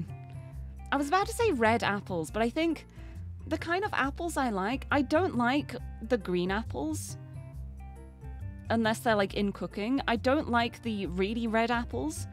I like the ones that are kind of like in between. They're kind of like reddish yellowish apples. Those are like the prime tasting apples to me. Those are my favorite apples. Uh, think things should not taste like dust if they can help it. Me too. Me too. Fully agree. You're an Asian pear fan. Oh, do they have a different texture? I don't. I don't know if I've. I, I, I've never tried a pear that didn't have like that, that grainy feel to it when you're eating it. But yeah, I'm. I do love fruit a lot though. I I feel like there aren't many fruits that I don't like. I'm very easy to please with fruit. I just really like fruit. I'm trying to think. There was like one fruit I tried once that I didn't like. I think it was like. Was it like dragon fruit? Dragon fruit or star fruit? I, I feel like those are two different fruits, but it was one of those that I tried once and I didn't like it. But I, I just really like fruit in general. Uh, like green apple as a candy flavor, but not so much as an actual fruit. Yeah, I'm like I, I will eat green apples if there's nothing else around and I'm just I just fancy an apple. But I feel like they're I prefer them when they're a bit more sweet. Like the greener ones are a bit more tart. They have a bit more like tang to them. If that makes sense. Oh, there's a soda company that makes green apple soda, and the carbonation makes it feel like you're biting into an apple. Oh. Oh wait, no, I've I've tried some really nice like carbonated apple stuff, like things like Appletizer. I really love those drinks. I love those so much. They're so nice. Oh, that's how you feel about melon. Yeah, I love melon flavored stuff. But not so much like the actual fruit itself. Yeah, I always think it's interesting when like sometimes there are artificial flavors that taste exactly like the fruit. And then other times there are artificial flavors where you're like, okay, yeah, this you know that this is listed as this fruit, but it is very much not. But I still kind of like those too. I just like sweet things mostly. Very easy to please with anything that's sweet. Their conversation is vague and personal, but my imagination can fill in the blanks. I see it clear as day. Caprice and Millie sitting here, scratching away at some doodles or a math sheet, nibbling away at whatever Charlie prepared for them that day. Mike coming in to pick his daughter up, maybe staying a bit longer for dinner, and doing it all over again another day at the Clark's house. I don't need a first hand account to see how much of a family these two homes really are. I guess Millie disagrees, but I wonder if she looks back fondly on those times regardless. I miss those days. Hmm. Yeah. Yeah. Yeah, the real thing tastes too much like artificial sweeteners to you. That's interesting. Although, like, I'm trying to think about it. I feel like the only melon I tend to eat is like the uh, the yellow ones, uh, like honeydew melon. And even then, it's like I feel like it has a really mild flavor to it. I just really like eating it like when I don't want to have anything like too with too much flavor. just want to consume. But I, I do like the texture of melon. I like I like the texture of eating melon. Depending on which one it is. But I don't like them when they have too much flavor. I like the ones that are like not not as flavorless as watermelon. I feel like watermelon is very like I probably wouldn't go for it even if it was offered to me. But yeah, I do like I think it is the honeydew melon. But I like those. Oh, Shy Pie, hello! You drank a dragon fruit watermelon beverage yesterday. It tasted like salt, citric acid, and pennies, then left a greasy feeling in your mouth. That sounds so refreshing and lovely. Mm. I wonder if dragon fruit's the one I tried and didn't like. I think it might be actually. Like the one fruit I have tried and just been like, no, I I can't eat this. but uh, welcome, welcome. Oh, nostalgia. Me too, sometimes. More than sometimes lately. Oh, I feel like we're eating two completely different fruits. You've never heard watermelon described as flavorless, unless it's like overripe. It's very possible that I've only ever tried overripe watermelon because it's not really like a common fruit here. I think. Like I feel like it's more common in the U.S. I don't think it's like a, a thing that's easy to find over here, and I've I've only tried it a couple of times in my life, and both times I was just like, eh, whatever. Hold on, I kind of want to look this up now. Sorry, the midstream yap distractions. Dum-bum-bum-ba-dum. Watermelon, UK.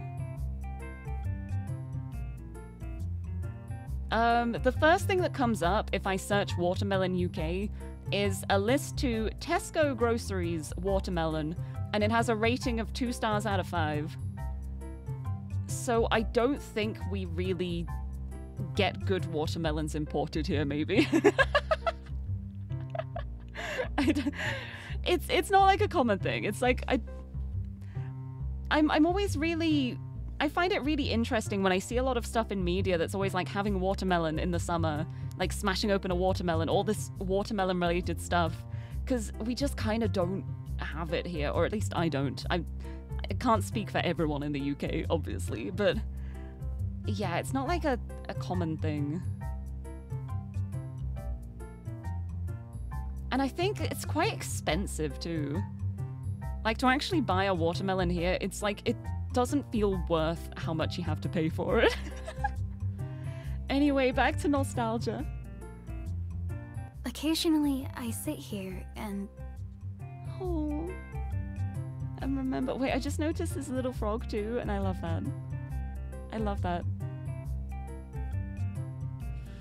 She fidgets with a fork in her hands. well, wish it was a bit more crowded. Mm. Oh. she and Caprice shift their heads downwards in almost perfect unison. It used to feel a lot bigger. Yeah. Because you used to be a lot smaller. Ay. A smile returns to Charlie's face as she drags the mood back onto its feet. I'm more than willing to do my part. She's not exactly very big now. nice, make fun of the fact that you're both taller than her. Hey, it's not like you're a giant yourself.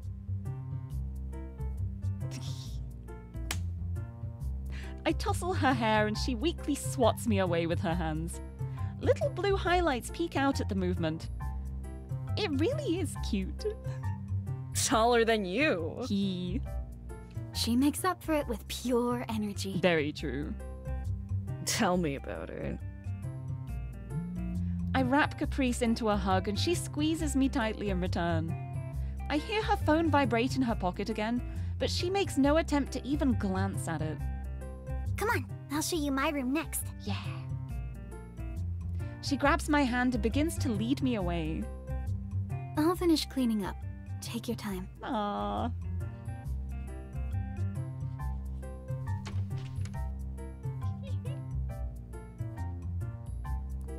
Look at it. Look at it. I love this. I love this room. This is such a Caprice room. This room is just incredibly Caprice, and I love it.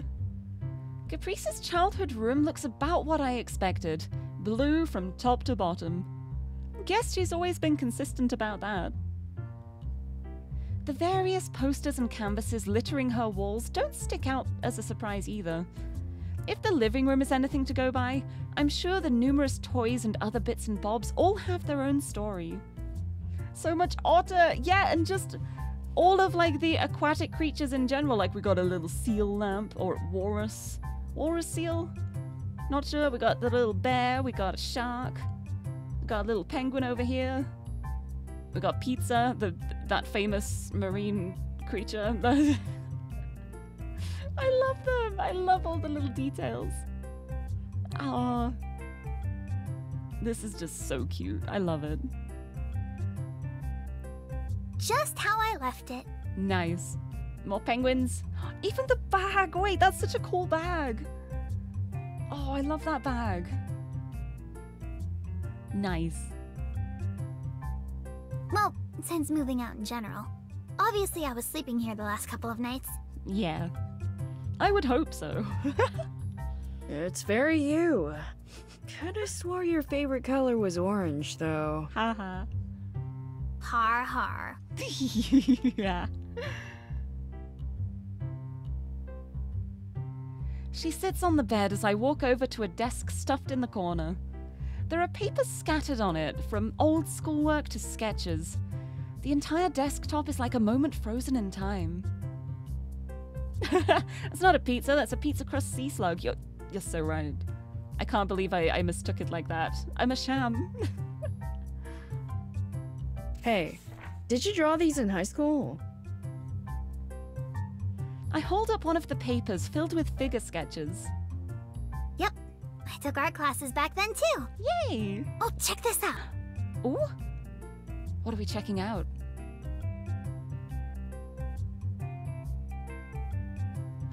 The otter, yes! I join her on the bed as she grabs a plush otter, warm and uh, worn and well loved. Mike got him for one of my birthdays when I was little. Mom said I refused to open any other presents after, and since then they've always joked about how they could never top it. The best present of all time. Her voice begins to shake as she gently strokes the otter's fake fur. Mm, okay. Is it talking time? I think it might be talking time. I didn't take him with me when I moved out for college. I guess I took the idea that he'd always be there for me when I came back for granted, but now that. Yeah. She allows that train of thought to hang in the air while she tries to find the best way to end it. The silence is eventually broken by a small sniffle, and then another.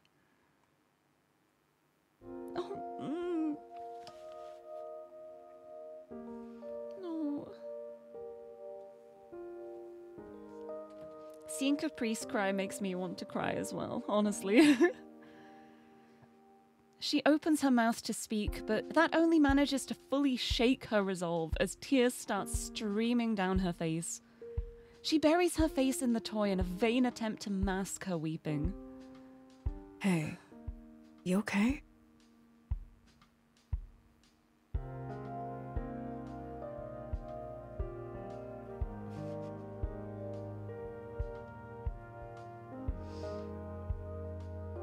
Got this, Caprice.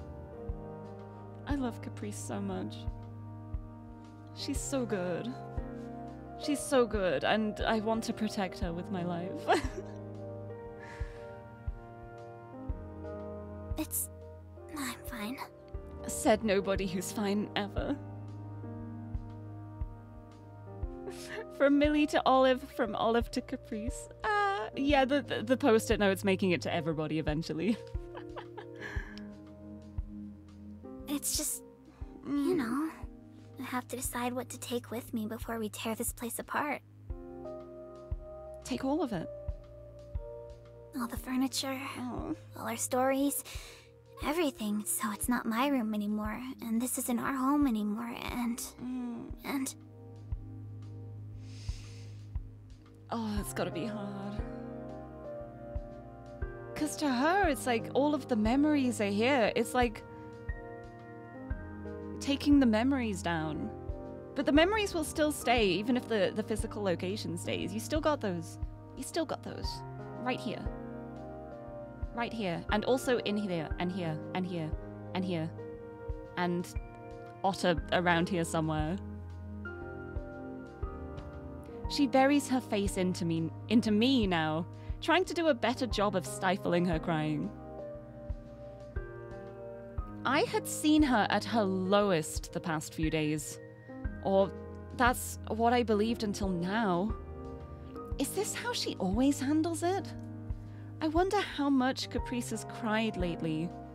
Is it a lot? Or is it only because she's been keeping it in all this time? I don't ask, only comforting her with an embrace. After a few moments, she murmurs, Wanna go for a walk? Yes. Sure. Her phone buzzes loudly. More text messages. She gives a frustrated sigh, but still makes no move to attend to it. I want to know who's sending these text messages. Who is sending these messages? I want to tell them to stop. I want to tell them to cut it out and give us some space. Like, I. I. The. Grr. Okay. Can you wait outside my room for a minute? Okay. You got it. Take your time. Thanks. Mm.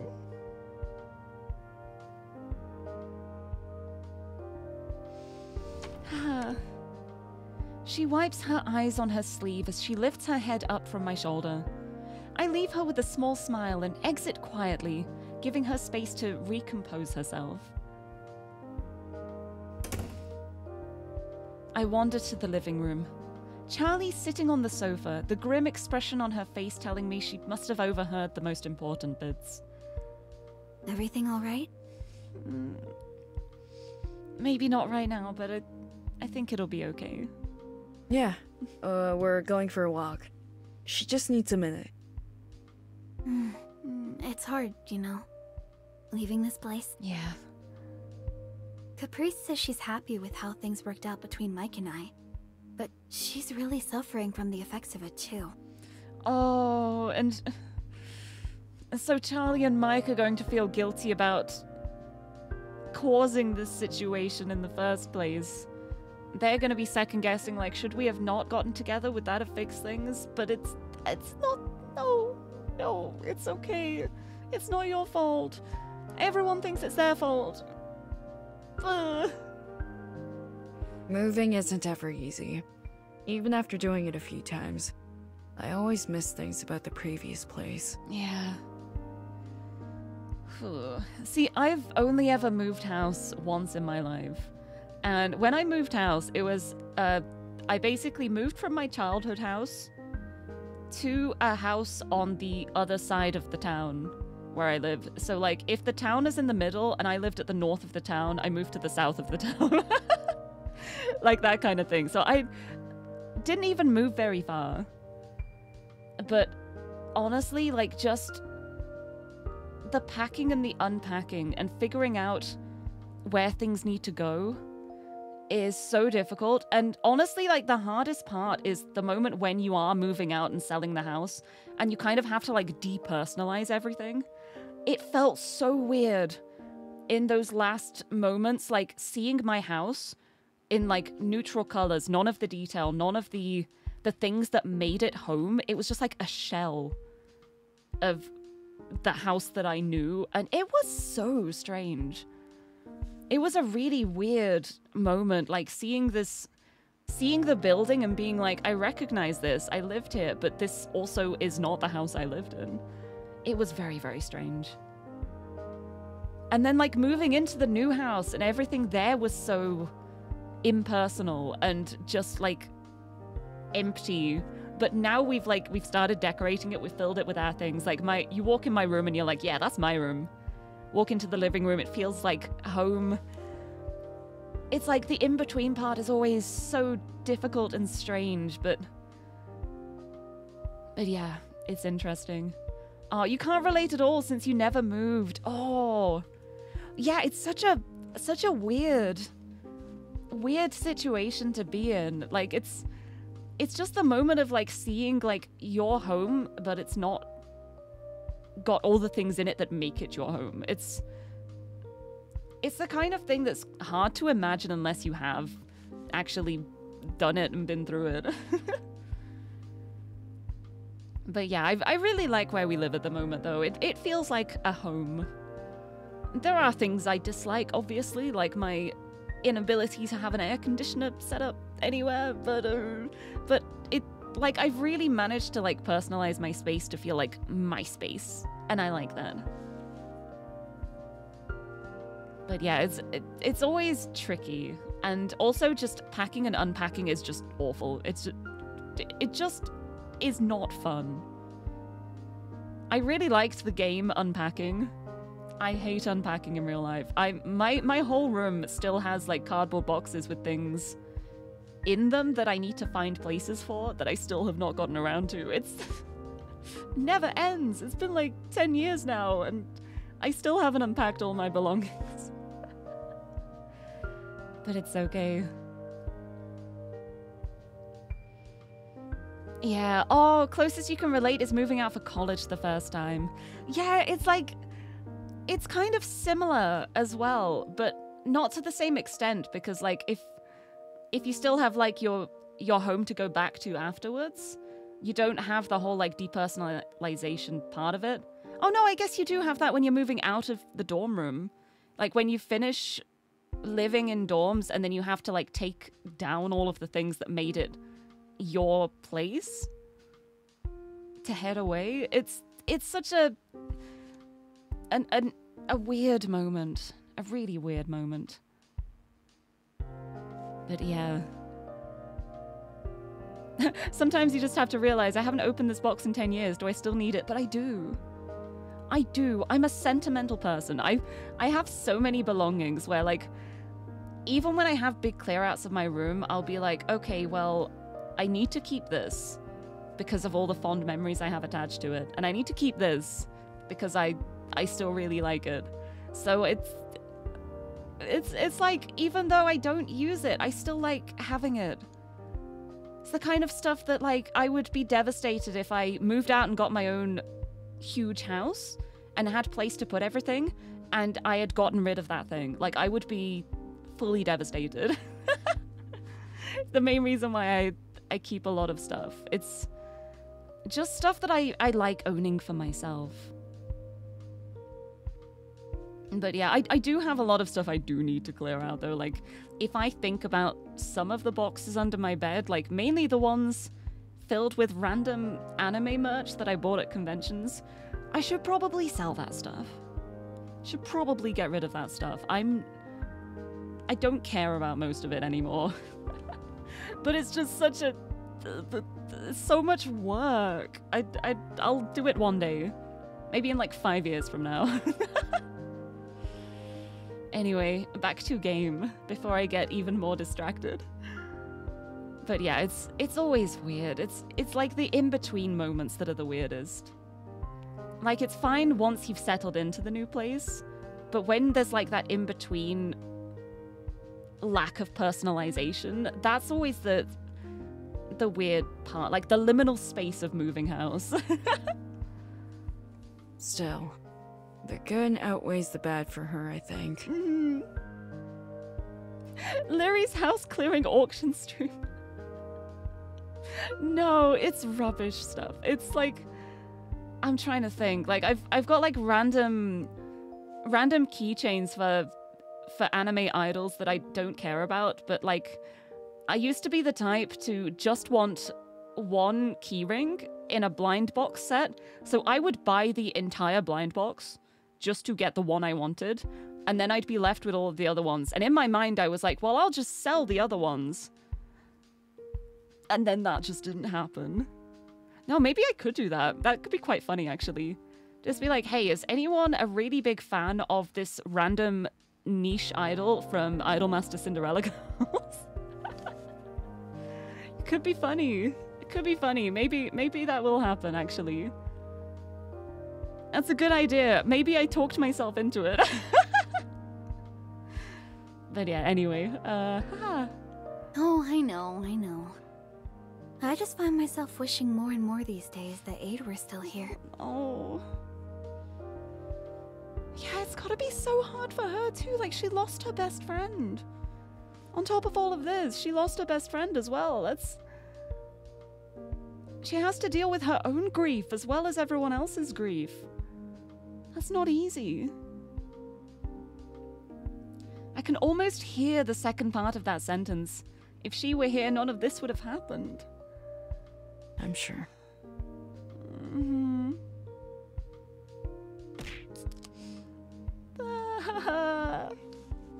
Zarok, hello! Thank you for the hydrate. I need it. I need the sippies. I need to replenish the tears right now.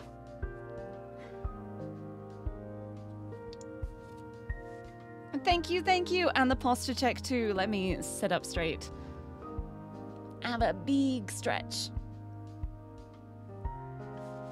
Oh, I kind of feel like I need to sneeze, but I don't think the sneeze is going to happen. Oh, this is horrible situation. I hate the feeling of being about to sneeze and then not sneezing. So painful. But thank you for the drive-by care package. I appreciate it. Thank you for stopping in, Zarok. I hope you sleep well. Happy um Happy Wednesday. Can't help with that. There's no sneeze redeem. Well, I I wouldn't know how to sneeze on demand. How would I like maybe just like get pepper or something? No, I don't want to do that. but no, I, I I don't know how to sneeze on command. I wish I did. It would make things a lot easier. But uh, I've been very sneezy at the moment because Tiffany has been leaving a lot of fur around the house because it's been very warm. And she has a lot of fur. She's a very fluffy girl. And she keeps dropping these like huge clumps of fur everywhere. So that's that's not helping like on an aller- allergy front. and also I probably could do with dusting my room again. I'll probably do that tomorrow. Cuz I'm not streaming tomorrow. I'll I'll take it take a day to like sort my room out a bit. Honestly, all the talking about like moving and belongings and stuff is making me want to do like a big sort of my bedroom, which is a really bad idea because that's going to take me weeks.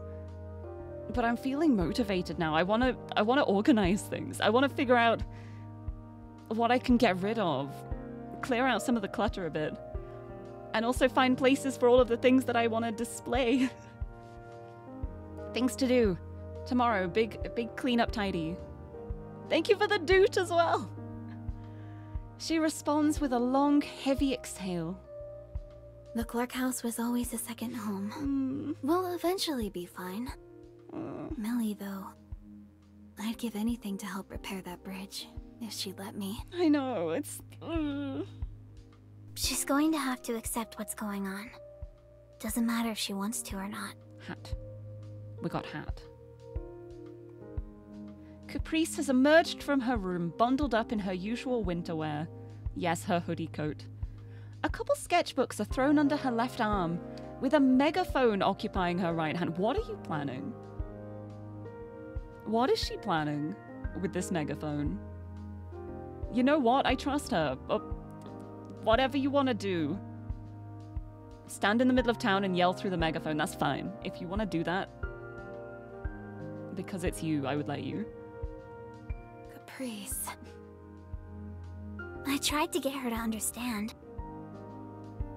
What if she's just gonna like yell in Millie's face? Just yell everything in Millie's face through the megaphone. We've done everything we could, Mom. She doesn't care, so we shouldn't either. Mm, no, it's. She does care though. It's the... She does care. That's the painful part. I thought our friendship meant more to her, but I guess I was wrong. I give up. No. I won't let you. I'm not gonna let you give up. I refuse to let you give up. Also, hi, Dr. Anime. Welcome, welcome. The three words I never expected her to say finally leave her lips. My chest hurts, and Caprice's nonchalant tone twists that knife further in. I don't think she wants to give up. I don't. I'm, I'm not gonna let her give up. I refuse. I'm, I'm not gonna let her give up. Caprice. Hey. I don't think she really wants to give up. She's just going through it. You don't mean that. Mm. The shock in Charlie's voice betrays any sense of confidence in that sentence. A cold pall sweeps over the room as Caprice shrugs. I know she's been calling you all day. Can you imagine how alone she feels right now? Mm. How she feels? What about me? What about you? We have each other, Caprice. Mike is here for us, and Olive is here for you too. She only has you.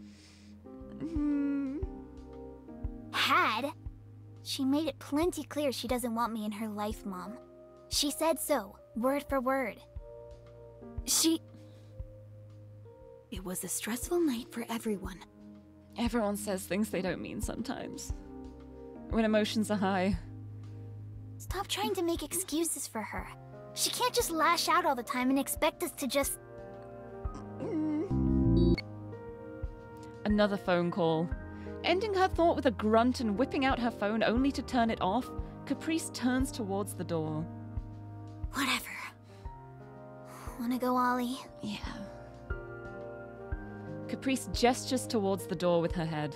She avoids direct eye contact with both me and Charlie as she walks past us. Well, yeah, I'm not letting her go off on her own, so Uh, sure. not not in this kind of mood, not not in this situation. Where are you going? For a walk. Just down to the pond. We'll be back later. Okay. Hmm. Take care. Stay safe. Will do. See you. Out the front door, she begins to walk down the road, still clutching her art supplies. She walks fast, so I try to keep close.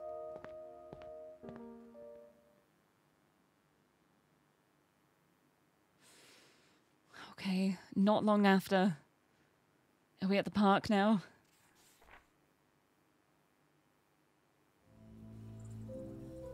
I don't remember a pond being that close by. Or at least I didn't see one on the way here. The supplies under her arm shift and threaten to fall, but she has no problem adjusting as many times as she needs to, holding it all close. What's with the extra stuff? Just in case. I thought we could have a little club meeting of our own. Maybe we'll find some inspiration out here. Hmm. This would be so lovely if it wasn't on the back of everything else that's going on. At a pond? yeah, draw the ducks. Draw a little duckling. Yep, it's not far. Agree to disagree. I somewhat wish I had my bike. And the megaphone? Oh, that's for screaming. It's. I have a lot to get off my chest. yeah, it is. Understandable. She picks up her pace. I trail slightly behind. My heart is racing a bit. It seems right that she should want to vent, but a part of me is wanting to talk now. I won't push it, but as she continues to avoid my eye contact, the worry remains, and the need to at least check in wins over. Hey, everything alright? Not really. Yep, Mm, sorry about earlier. no, it's You shouldn't apologize for crying. Mom shouldn't feel guilty about Millie, you know? It's not her fault. I don't know if it's anyone's fault. hmm She swiftly turns around to face me. How not? It's Millie who. No, forget it. Come on. No, don't forget it. Don't forget it. We need to talk about this. Ugh. She resumes her walk. I jog a bit to return to her side. After some time, we enter a small area just outside the residential neighborhood with trees and a pond. A trail circles the body of water, with benches dotting it here and there. We used to come here a lot. It was my ideal drawing spot growing up. It's pretty. She finds a seat on a nearby bench and begins sketching in one of her books. The megaphone rests next to her, still in reach. Mom and me. Sometimes Grandpa, back when he was around. Sometimes Millie, her family. She used to draw a bunch, you know. Most kids do, I guess. Some just don't stop. Yeah, I used to draw all the time when I was younger. I would just, I would doodle on everything. I was a chronic doodler. Ev- anything you gave me, if I had a pencil and a piece of paper, I would doodle on it. Just like absent mindedly, just. One thing I always used to do was I always used to draw like spider webs in the corners of my page. I'd do like the do, do, do, do, do, do, do, do, do, do, do, and then draw lines connecting them, and then draw a little spider. I'd also do a lot of flowers. I'd always doodle flowers and hearts, and also swirls. I really like doodling swirls. I do like really long swirlies. Good times. She wanted to come today. Mm. Good thing you stopped her. I pause. In a way, I feel like the worst thing I could do right now is sit here and agree. Yeah, like, Caprice is in give up mode.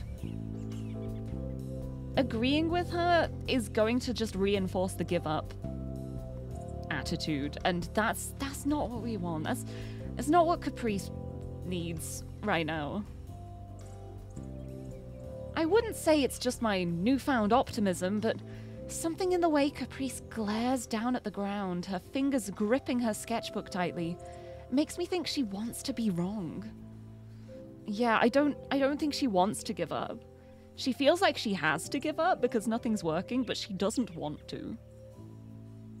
And I don't think she has to. I steel my resolve, but offer a, s- a soft touch to Caprice. She doesn't move away, so I brush away a stray piece of hair from her face. She wanted to talk. What else is there to talk about? She wanted to argue. No, she didn't. She glares towards me now, but it's strained. I smile a bit, trying to offer whatever sense of ease I can. It didn't sound that way to me. What else is there, Ollie? What else can I even say or do or yeah. She slams the sketchbook closed, tossing it back atop the other she brought. I tried, Olive. I tried to work things out. I did what I could. I Mm. She buries her face in her hands. I reach out to touch her shoulder, and just barely she angles herself towards me, her voice laced with an anger that colors how small she looks in this moment. all I'm good at is shoving people around. No one would give me the time of day otherwise. No. Millie hates me. Hayley avoids us a lot of the time. The club doesn't even want to meet anymore. No. Ugh. They literally planned a dinner for you, Caprice. They planned a dinner to apologize because they felt bad. I.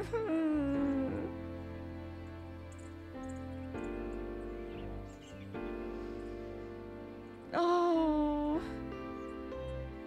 She's trying so hard and she has to deal with so much. I feel so bad for her. I. Mm. I promise you, none of that's true. How can you even say that when you were roped into the club yourself? That was even worse. I was just taking advantage of your personal problems to get a small step up in this dumb fight. Oh, the pain. It was still my decision in the end. Yeah. So was everything that came after. And they didn't have to stay in the club now, after passing the year, unless they wanted to. Like, that's an active choice they made. And look where we're at now. It's been a rough few days, but that's only because I hate seeing you like this. You've been nothing but good to me.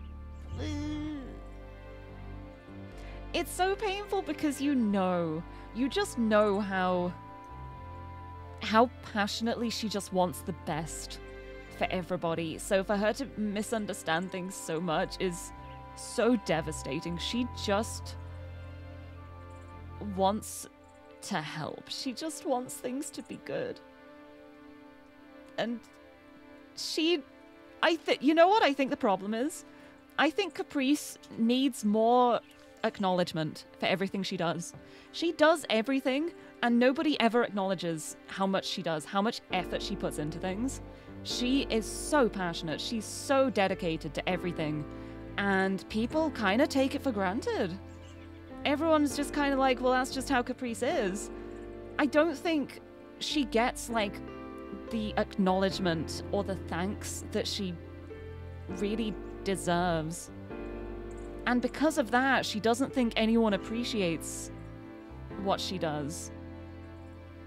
And I think, like, now that she's in this state and not providing this, it's helping people realize, like, hold on, she does do a lot, doesn't she? She does put so much effort into things. We have not been appreciating her enough, have we? oh, I'm, I'm very, I'm very passionately supporting Caprice. I want I want to support her with all of my being. I'm Dare I say it, I'm on side Caprice here. like not to pick sides or anything, but if if I were to pick a side, you know, which is like it feels like it's saying a lot too considering how much I adored the Millie route. I think I'm on side Caprice. Like if I had to pick one. I think Then why does it feel like nothing I do is good enough? it is. Good enough. It is good enough. Not to imply Caprice's canon, but Olive does have a green streak in their hair in the OST art. Curious. How very curious. Honestly, I'm like the more I'm playing through this, the more I feel like I like both of the paths, but I'm. I, I really I love Caprice. I, I love Caprice. Also, Dr. Anime, thank you for the hydrate too. I need I need more drink. I need more sips to replenish my tears.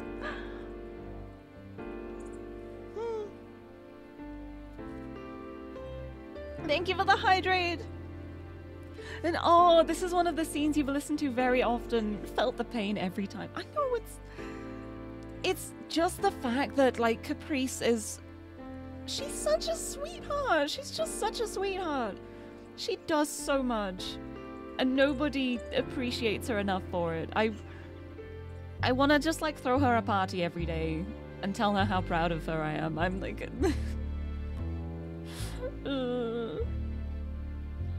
Why does it feel like I can't get through to anyone? I'm so sick of it! Months and months of this! My best friend!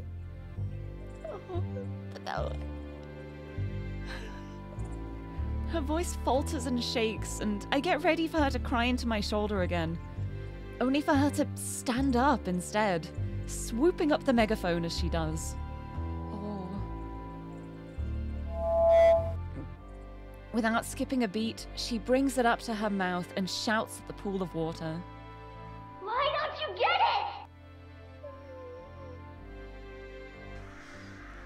Flock of ducks take off from the water at the sound, sending water spraying over the edge of the pond and a flurry of feathers behind.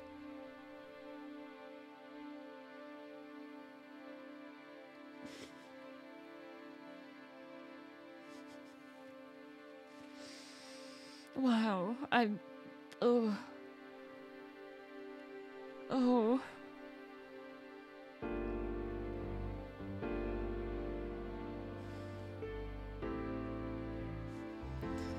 Oh. You've always been my sister! Haven't I been yours? Do you hate the idea that much?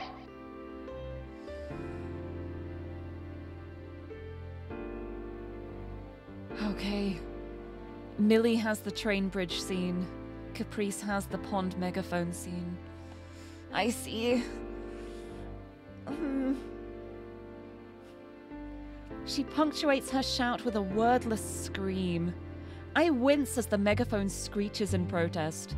Caprice, however, seems totally unfazed by it. Thank you so much for not including like a sound file for that because I, I may have cried. Maybe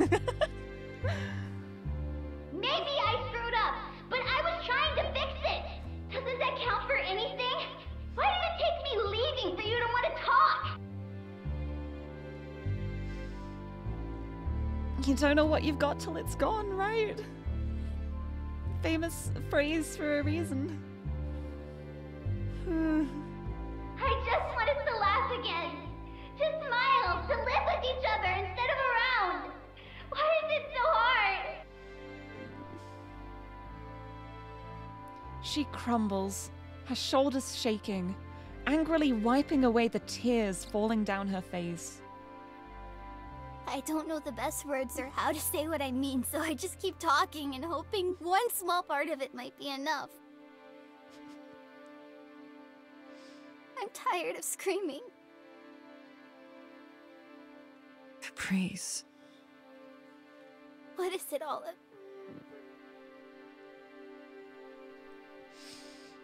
I wish I could tell her that I don't know either, that I love her so much that I want to be with her and support her. But I've said all that already. I don't know how to translate how much I care about her into words. Screw it.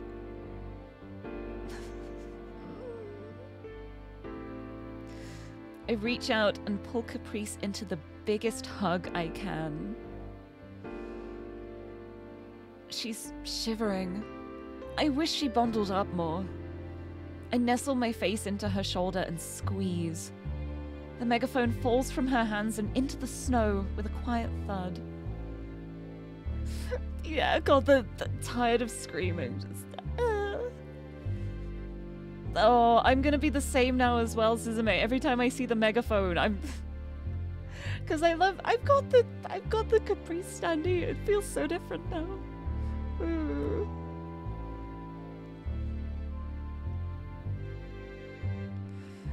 I feel her shift in my hold, slightly moving her face as if to say something. I ease up, not wanting to overstep. Don't let go.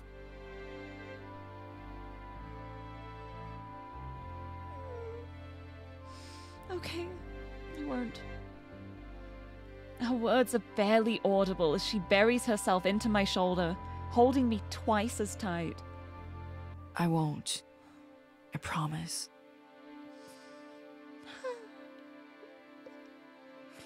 I close my eyes and take it in. Her hands grabbing onto my coat. How much warmer it is together.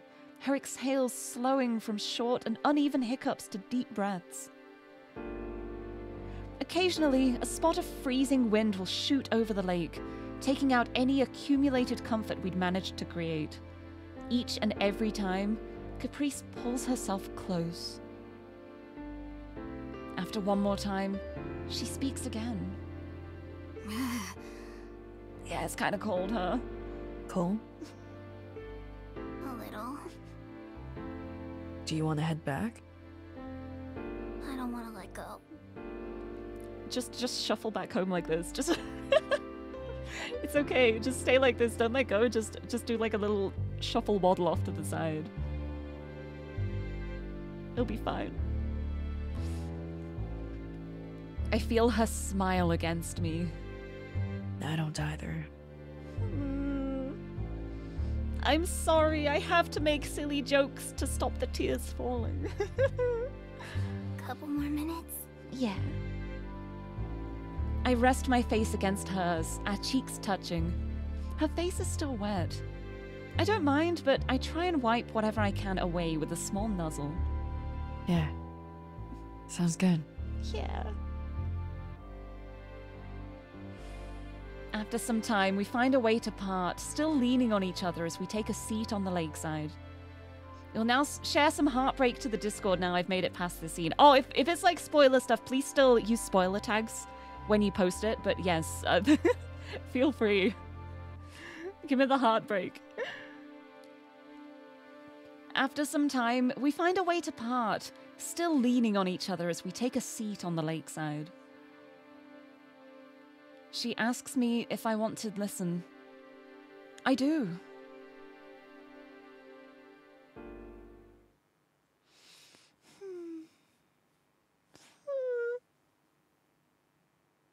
Later that day. Alright, same day, but later on, we talked. Good talk. I think it's a good talk. Also, I just realized something I have that I've not been using that I maybe could have in this scenario.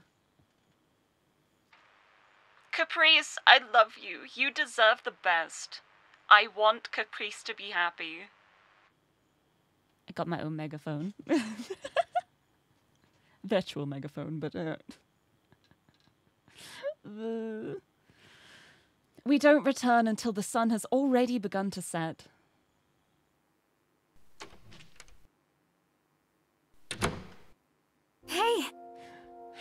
We're back. Hi. Mm, A little smile.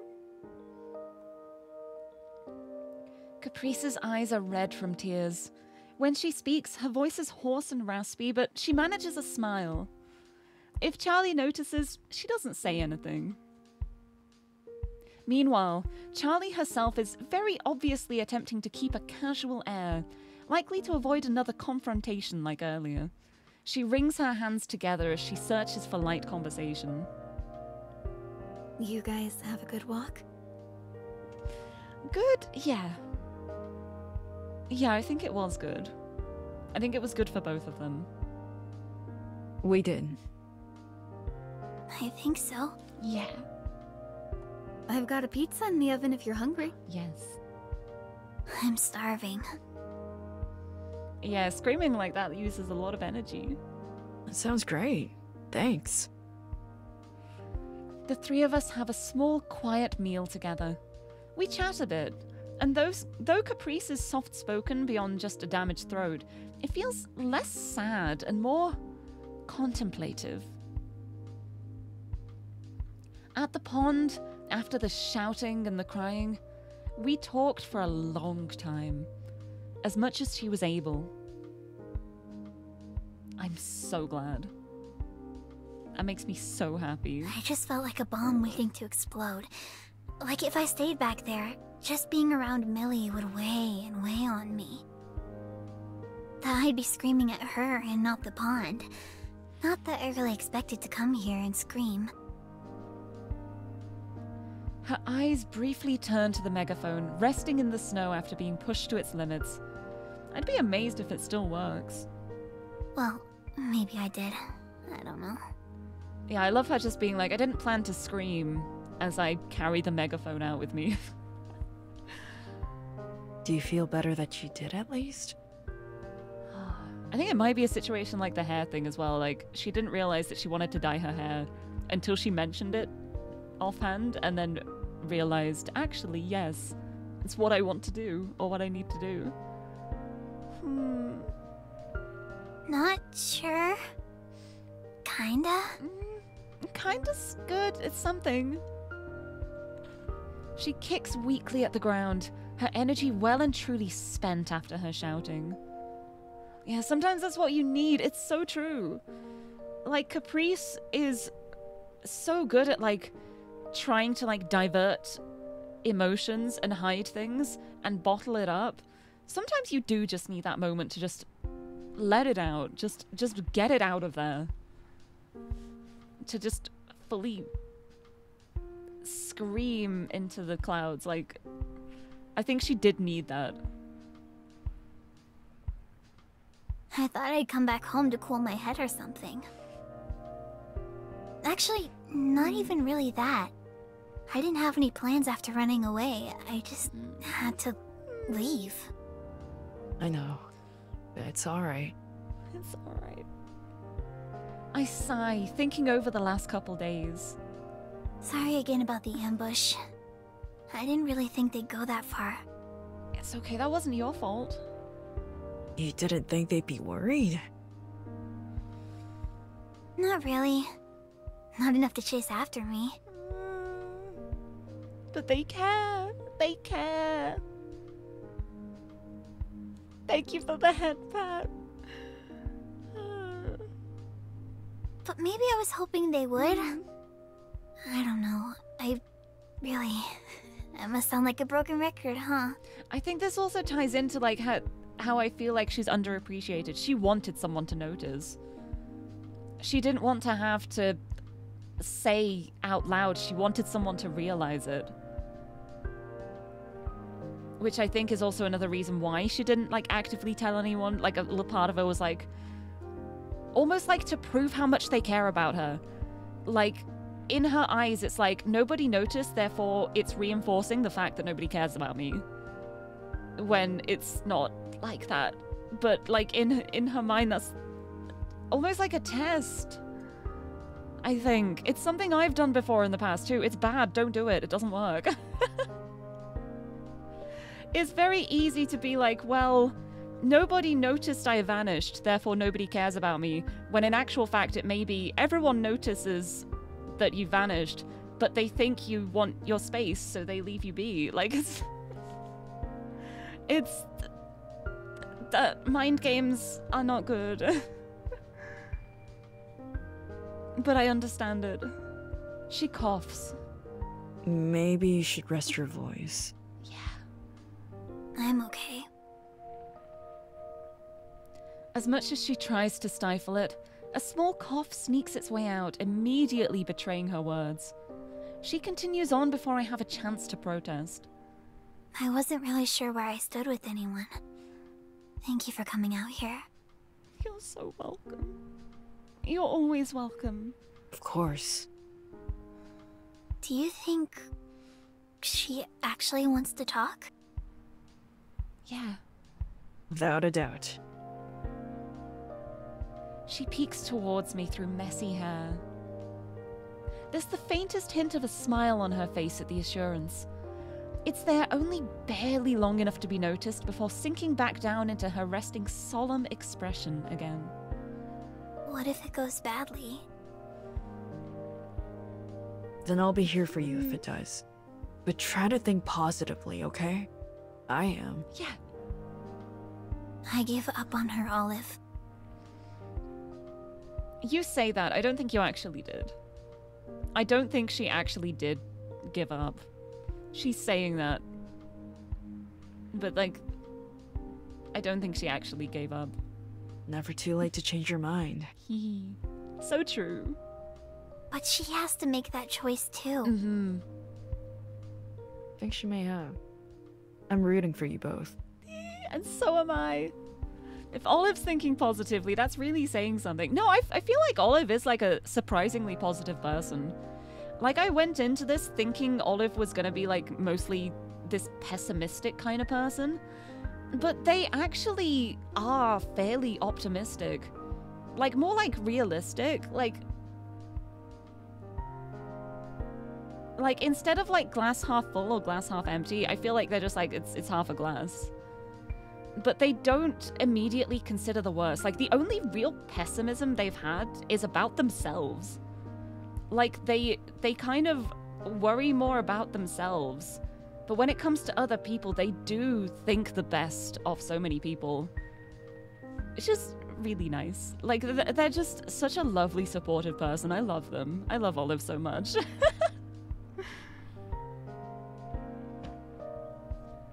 She laughs hoarsely and gives me a hug, nuzzling and kissing me. What's so funny? It's just nice to know that at the very least I always have you in my corner. It means a lot. Of course. Yeah, yeah, they're not a pessimist. They just have low self-esteem. yeah, I I think it's like they're they're not a pessimist, but they are a worrier. They do worry. They're very good at worrying. Which I also can relate to. I am also a worrier. the worrier. I love to overthink things. but yeah, they're they're really supportive though. They're they're lovely. They're so good. Uh, well, you know. Yeah, I know. Yeah. I'm glad you know.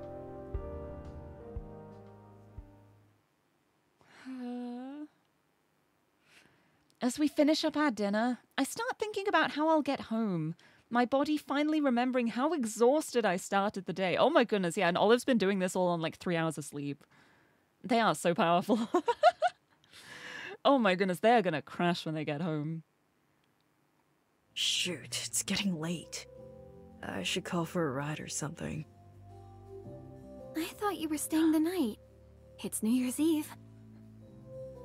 Wait, it's New Year's Eve? I had no idea it was New Year's Eve. Hello? Has it been a week already? With the whirlwind I found myself in, time's become a total blur. I wouldn't want to impose. Plus, I've got work tomorrow. You- You're not imposing. I could drive you out if you want. You do that for me? Sure. Is it in the morning? Ah. Oh, Charlie, you're so good. Yeah, at six. Ugh. No. Um, yeah, that's a bit early. Both Charlie and Caprice's faces fall at the revelation of my early start schedule. I wish you said so earlier. I wouldn't have dragged you around all day. No, it's fine. Also, I love that you can hear like the the rasp in Caprice's voice as well after she's been shouting and talking so much. Ah. don't worry about it. It's no problem. I can do six. Though, I guess with the distance and the morning routine, it'd be more like four, huh? Mm, You really don't need to. I know it's a huge ask. Besides, I'd need some cleaner clothes. clothes swap? Then we'll swing by your apartment first. Yeah. Then it'd just be easier. Don't fight it, Olive. They want you to stay. they they just want you to stay. Otherwise, they would not be talking about driving you back at 4 a.m. Like th- th- they want you to stay. Molly. Ollie, Ollie, Ollie, it's New Year. They want to spend New Year's with you. Stop protesting. Uh, fun fact, you played Caprice Act 2 and 3 on Christmas Eve and New Year's Eve, respectively. Oh my goodness. Wow. the actual timing, wow. She nods her head toward Caprice, who's trying her hardest to suppress a hopeful smile. I was only supposed to help open, so maybe I can see if they'll accept a last second call in, actually. I'm sure they'll understand. New Year's is usually a lot calmer than Christmas is for us. Yeah, to be fair, I feel like the diner at New Year's probably isn't going to be super busy at 6 a.m., considering everyone's probably staying up until midnight to see in the new year. People aren't going to be having like a few hours of sleep and then being, you know what, I'm going to wake up specifically to go to the diner for breakfast at 6. Although I don't know, there probably are people who would do that, but yeah, not the majority. The, the way she's like hopefully rocking back and forth, just like, please say yes, please say yes. You're the best. Yeah. Shush. She chokes on her excitement and starts coughing. Charlie worriedly rubs her back. You sure you're okay? She's not okay. She needs to go lie down. She needs to go lie down, have a relaxing warm drink, and stop talking. And she's probably not gonna do that.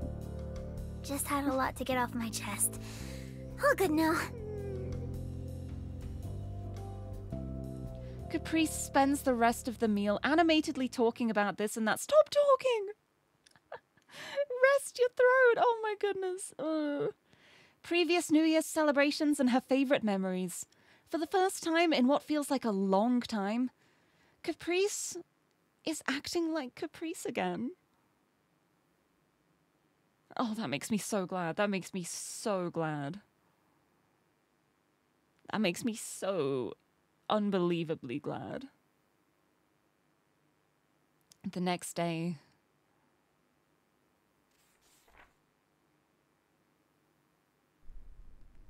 the owner was kind enough to accept my last minute request and even apologized over having mom come in over Christmas, though I'm sure they had though I'm sure they had apologized to her directly already. The work can be exhausting, but it's nice to feel appreciated.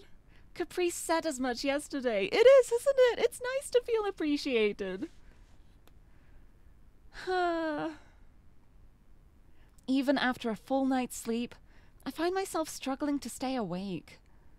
Yesterday felt like it lasted a hundred hours, and that was before the unplanned decision to stay up till midnight for the ball drop.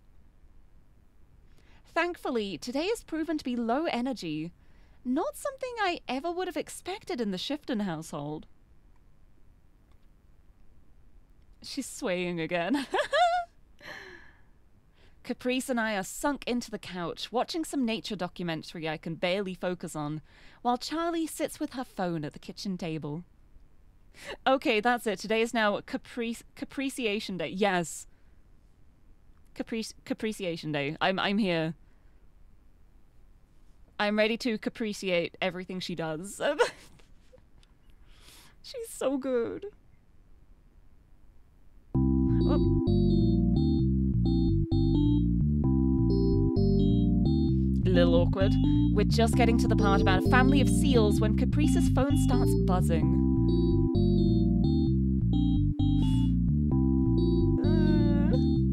Takes it out of her pocket through habit and pauses when she sees who's calling. She glances towards me, a look of unease writ plainly across her face. It's Hayley. Oh. Oh. Oh. I'm going to answer it. Yes. Okay. I'll be right here.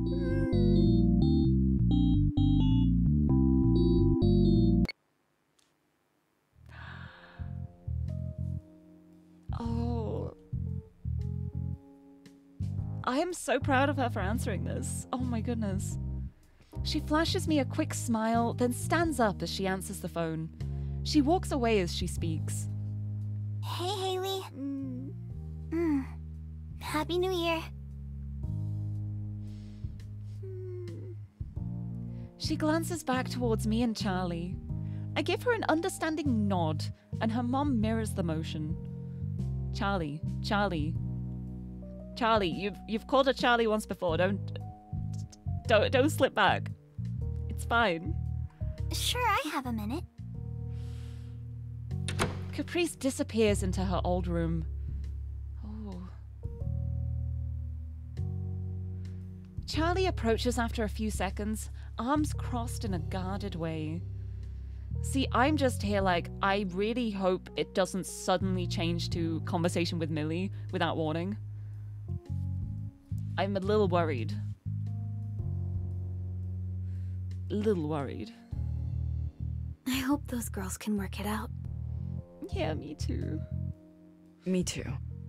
We all do, I think. Yeah. Are you doing okay? Mm. I'm so glad they asked her. Charlie blinks in surprise, looking caught off guard by the question. She quickly regains her composure by laughing it off. You don't need to worry about me, Olive. I appreciate the sentiment, though. It's okay, no. I know we don't need to worry about you. We're gonna worry about you anyway because we care about you. Get aggressively cared about. It's still. I don't know. this really isn't my place to comment, is it? You basically raised her, right? Millie, I mean.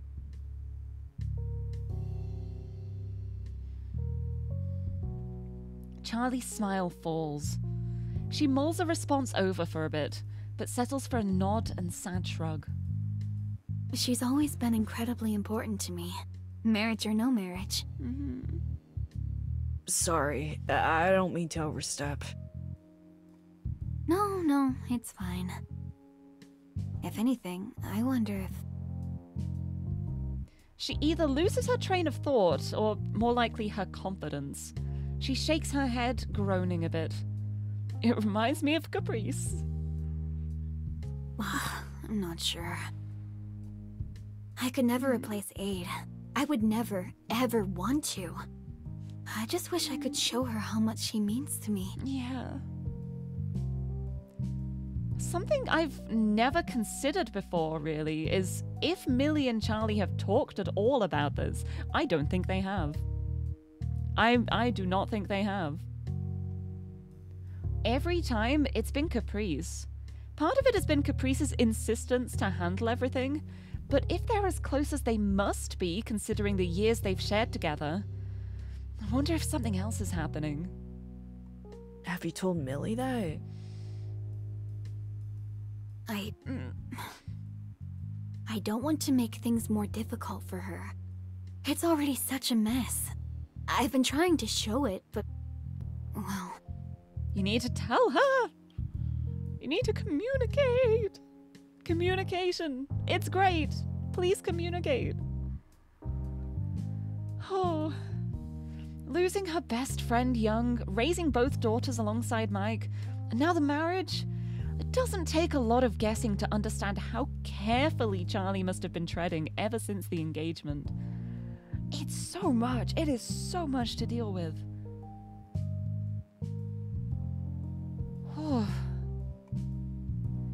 I feel a spike of familiarity in what she's saying, though.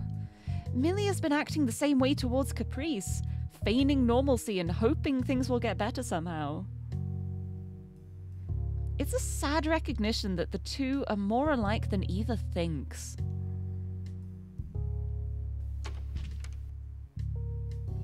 Caprice re-emerges from her room, leaving the door open behind her. She gives a small wave to us. Everything's fine. Hayley was just making sure we're all good here. Oh, I'm glad. Ah, I see. And I spoke to Millie a bit. Oh? Oh?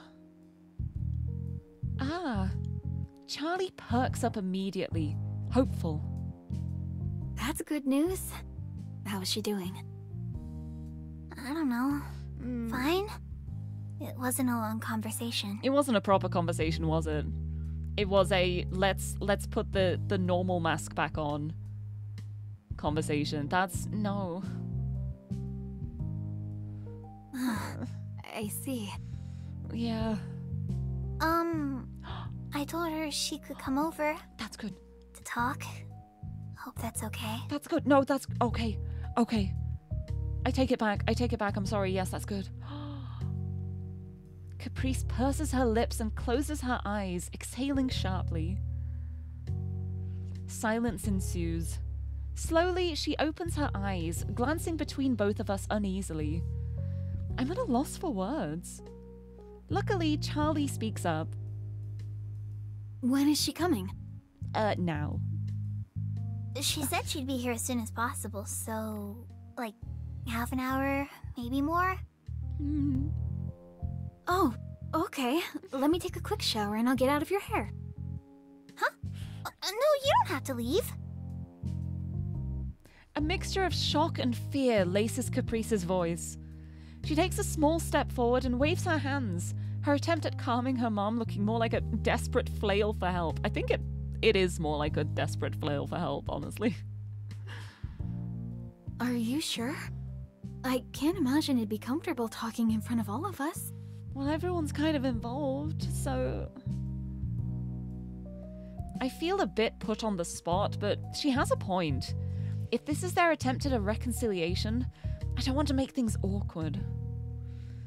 No, actually, I think having them there would make things so much better. Because if they start to misunderstand each other and spiral, someone can step in and be like, um, actually, take a take a second, take a breath.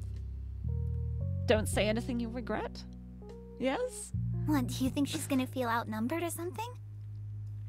Yeah, just like bully circle as soon as they open the door, just the three of them looming. Ah.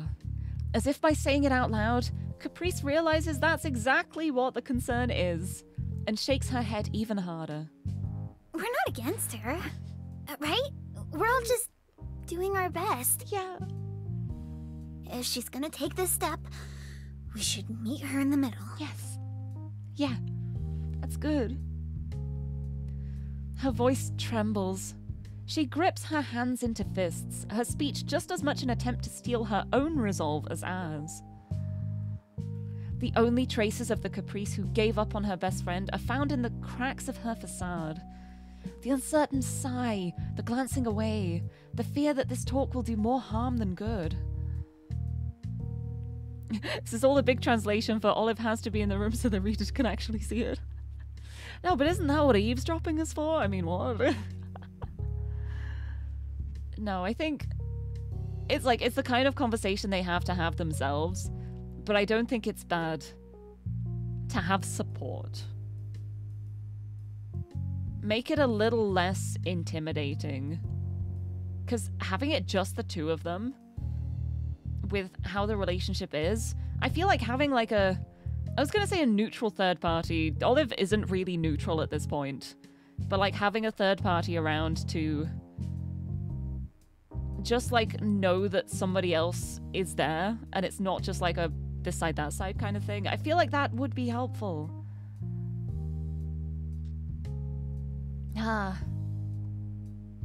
For the most part, Caprice is doing what she does best, the very thing I fell for her for. Pushing along even when it's difficult, because it's the right thing to do. The only difference is she's now pushing herself. I take her hand into mine to reassure her she won't be doing it alone. Like I said, I'll be right here. Yeah. You got this. Charlie gives an awkward pat on both of our arms, taking an extra second to look at her daughter with a soft expression. Are you proud of her? I am. Of course, Caprice. I'll be here too. Mm-hmm. You got this. They've got this. Everyone's got this. I believe. I believe. Please. Please. Ha. The next 40 minutes feel more like 400. Charlie barely moves an inch, foregoing her phone for twiddling her thumbs. At some point, Caprice retreats into her room, Whether it's to meditate or hype herself up is anyone's guess. The apartment is silent, aside from the television going over a manatee's eating habits in thorough detail. Make notes, Olive. You can impress Caprice with that knowledge. and then a doorbell.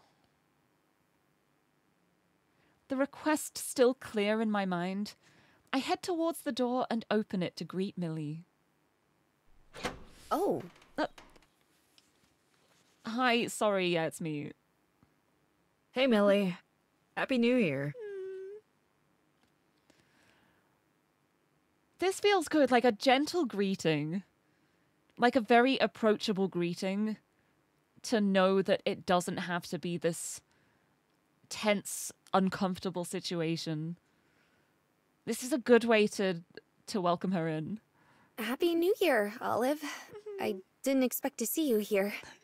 What a weird sense of deja vu. You did come by my place just two days ago. I guess I did. May I come in? No, actually, I decided you can't come in anymore. I step aside. Millie's hair is a bit unkempt, and she takes the opportunity as she walks past to try to smooth it out. She must have rushed here. Yeah, well, she literally said, Yeah, I'll, I'll just be here as fast as I can. I'm I'm so nervous. I'm really nervous. Hold on, I'm gonna have some more more monster. I'm I'm so nervous.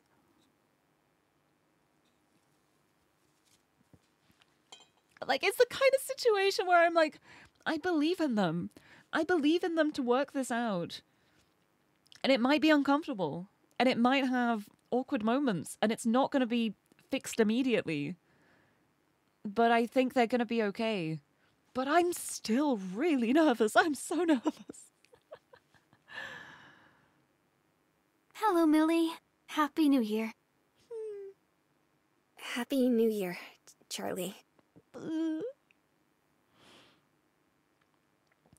Flicker passes through Charlie's face at the greeting. Her smile softens to a warmer, easier one. Is Caprice in? I called her a bit ago. Uh, she said it was fine if I. Yeah. There she is. Oh.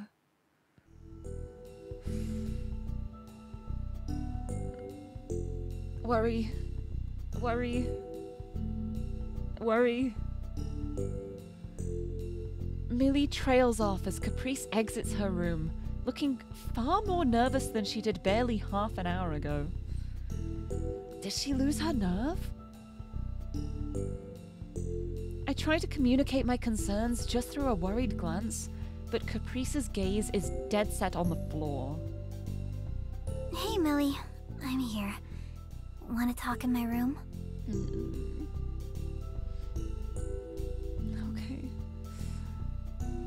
Millie's shoulders relax at seeing her, and she gives a small nod. As she walks over, Caprice looks up towards me for just a moment before continuing. Ollie can come too, right? there it is. Just like, sorry, I, I need my emotional support, Olive, for this conversation. I'm just imagining now just Caprice and Millie sitting there and Olive just awkwardly in the corner, like, uh, just pretend I'm not here. Just, I'm just a decoration, don't mind me. Oh, Uh, mm, um. I don't know. I, I was kind of hoping it would be just us two. I need them there. Caprice, it's okay. Please, Ollie. She sounds so terrified. She sounds absolutely petrified. Ugh. Both me and Millie exchange a look. I'm not sure what support I could provide exactly.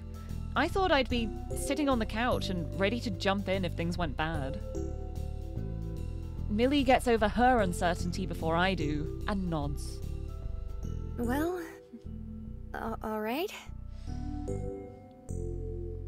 A small smile crosses Caprice's lips and she beckons me over. I steal a glance towards Charlie, who watches them from her chair in the kitchen.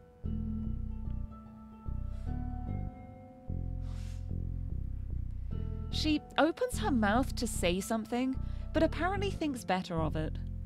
She notices me looking as she turns back to the table and offers, offers something of a go on then nod. I follow the two down the hall.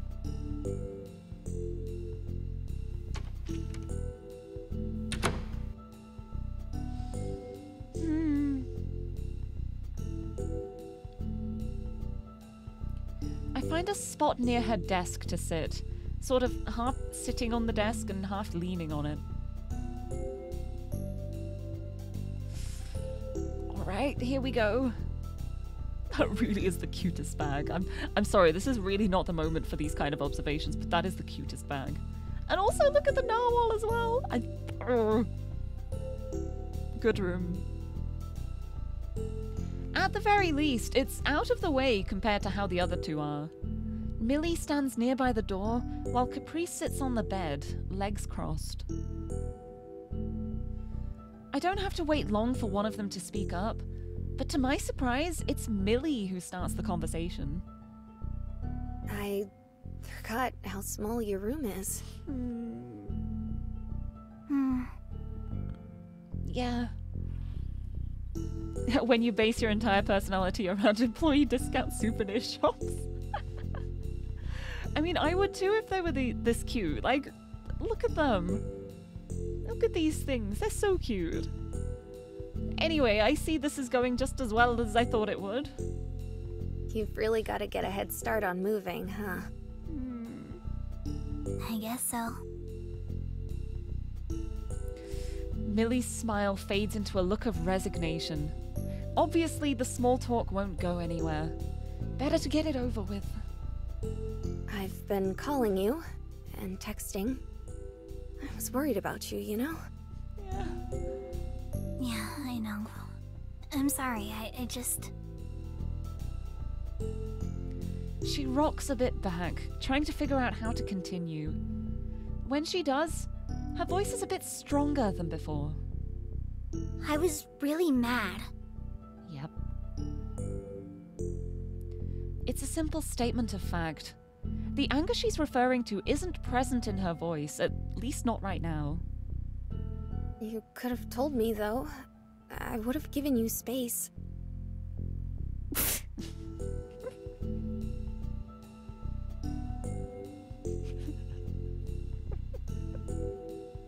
She doesn't even realize what she just said, does she? Millie tilts her head. A smile plays on her lips as if she's trying to play along, but eventually her emotions settle on confused. Are you. Is that funny to you? Yeah, what have you been doing, Millie? Yeah, kind of. The energy in the room shifts. Caprice looks away, a mix of frustration and hurt causing her to bite her lip. Can you explain the joke for me? I. I don't get it. That's the exact thing I was afraid of, you know?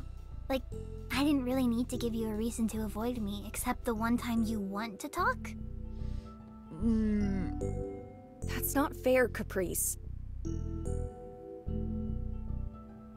I think it's just about as fair as what you've been doing. Maybe it isn't.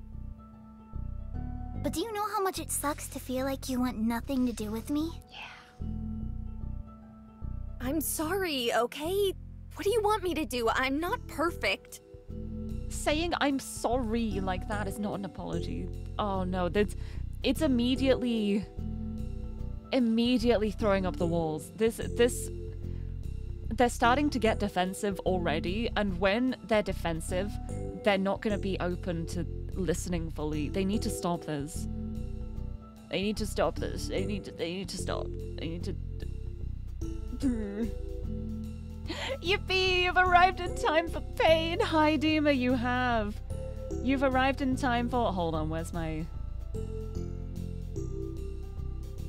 Where's my thing? Where's my thing? There's my thing. There's my thing! Right, you know what we're gonna do? We're gonna just have this on the wall up here for a little bit. Like that. Please. oh, thank you for the pulse to check and hydrate too! Let me have a big stretch. We gotta get ready for this. And a little sippy. Thank you. It's like this is a conversation they need to have. It's just so frustrating seeing them get so close to expressing how they feel, and then it just takes like, it only takes like one offhand comment that is misunderstood or misconstrued, and everything just flies off the rails. It's so painful. It's so painful. Anyway, we've got the I'm sorry. I'm not either. I, I just don't know when to talk to you or leave you alone or if you even care if I'm around sometimes. Yes, this is what she needs to say. What? Uh, of course I care. Funny way of showing it. Ever since the engagement, you've been acting like. Like I'm a poison or something. It's not you, Caprice. It's it's the whole situation. Please hmm? explain the difference, because you've been pretty actively avoiding me specifically for months now. Hmm. It's like I've been banging my head against a wall trying to explain this to you. You haven't explained anything, Millie.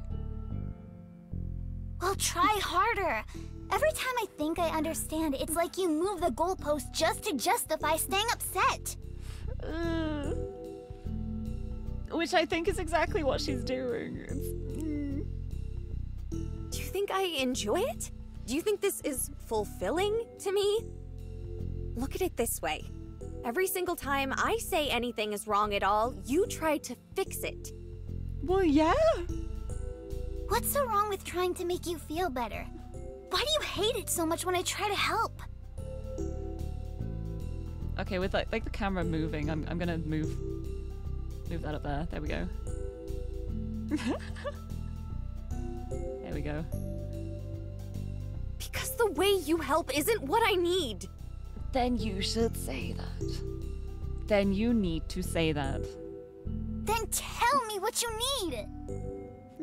She can't because she doesn't know. she doesn't know what she needs, but she does know what she doesn't need. But I feel like a lot of the time she doesn't realize that it's not going to help her until after it's happened and made her upset. And that's why it's such a problem. Because it's like she can't say, don't do this thing if she doesn't realize it's going to upset her until after it's happened. And then the thing happens and she goes, Well, that upsets me. Caprice will be like, Well, why didn't you tell me earlier? And it's because she didn't realize. it's so painful. Fighting illegal. oh, it's okay. I, I feel like they need this. They they need this moment. They need to clash a little to figure out what the what they're clashing about. and work out how to not clash. But hi, Brinley. Welcome, welcome. Hope you're doing well. Happy Twofold Tuesday. I'm very happy and not emotionally distraught at all. Trust me, I'm fine. I don't know what that is. I, I just know that it's not that. Yeah. Then why did you come all the way out here? Why even bother if you don't know what you want, just that it's not me? Ow. Because I'm scared of losing my best friend. Mm, okay. This is good. Well, join the fucking club. A knock interrupts the two's rising argument, firm but evenly paced.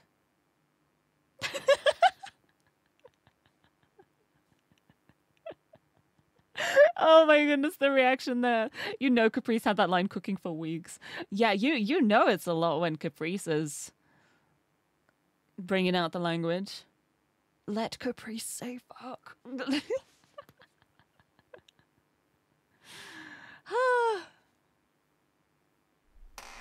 Hi.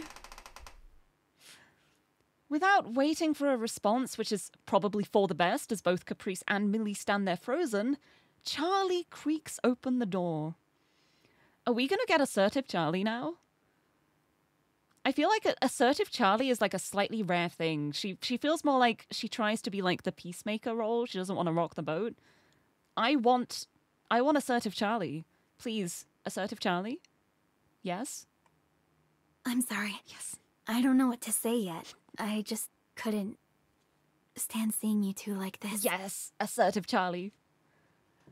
Oh, it makes me wonder. Makes me wonder if she was like just standing by the door trying to like psych herself up to knock on it. Because I don't think she would just immediately.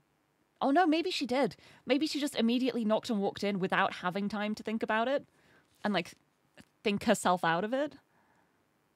Oh, We're, we're fine, Mom. Sorry, I guess we were a little loud. We'll tone it down. No, it's fine. Be loud. Be loud. You need to get this out. You need to figure this out. You need to sort this. If you are raising your voices, so long as you don't take it too far and then storm out and don't resolve it, that's fine. You need to get this out. You you need to figure this out, you two. I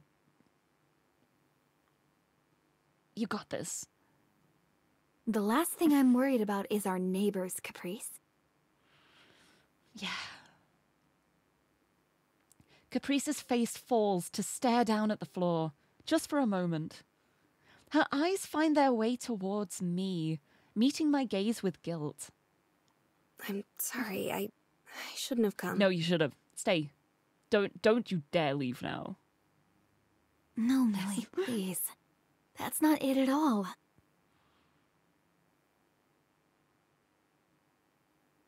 It's like all of this is stemming through misunderstanding. And then as they're trying to tell each other what they've misunderstood, they're misunderstanding it more. Charlie gives a long sigh. She looks over the room, taking in the state of things. Caprice is somewhat curled up on the bed. Millie's hands are balled into a tight grip, and I'm still off to the side, attempting to give as much space as I can. Are you comfortable standing? Oh, um,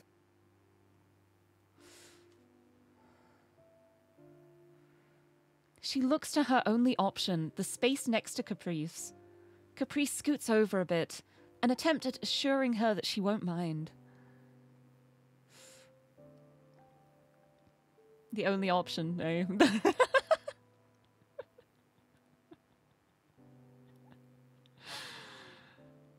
it's okay. You're not going to cry at work. I'm sorry if you cry at work. Just, it's allergies. Allergic to emotions. that chair doesn't exist. See, like, otherwise, in any other situation, I would have just presumed that Olive was sitting there. But it already said that they're, like, half leaning, sitting on the desk. Maybe they're, like, really awkwardly, like, wobbled around in this corner, like, half on the chair, half on the desk, like, kind of not committing to fully sitting down, but, like, kind of in the way. I've decided that's where they are now. Awkwardly, Millie sits on the very edge of the bed. Charlie takes her spot in the middle of the room. Olive, do you remember what you asked me a bit ago? If you were okay. Well, that, but I meant what came after. Uh, If I had spoken to Millie about what I was feeling. yeah, you haven't. Caprice turns to look at me directly now, all interest trained on me. I wilt under the attention. Ah, I remember. Yeah. Yeah, please do not perceive. I've been sitting out there thinking. I'm in my 40s, hiding out in my kitchen, while two little girls I'm supposed to protect are arguing. Mm, It seems a little silly when I think about it like that. yeah. Millie, please understand when I say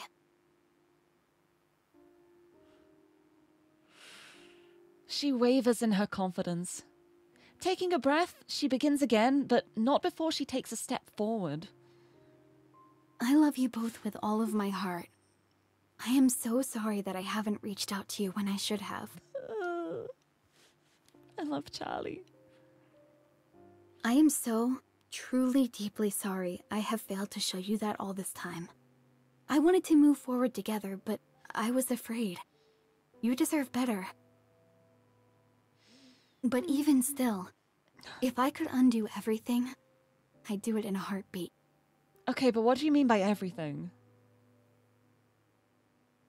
I'd never be able to look at myself in the mm-hmm. mirror again if you two cut each other out of your lives. It'd break my heart like nothing else. So I understand if your feelings haven't changed. I'd understand if they never change. But please, please, don't hold anything against Caprice. Mm. I. I. I'd never.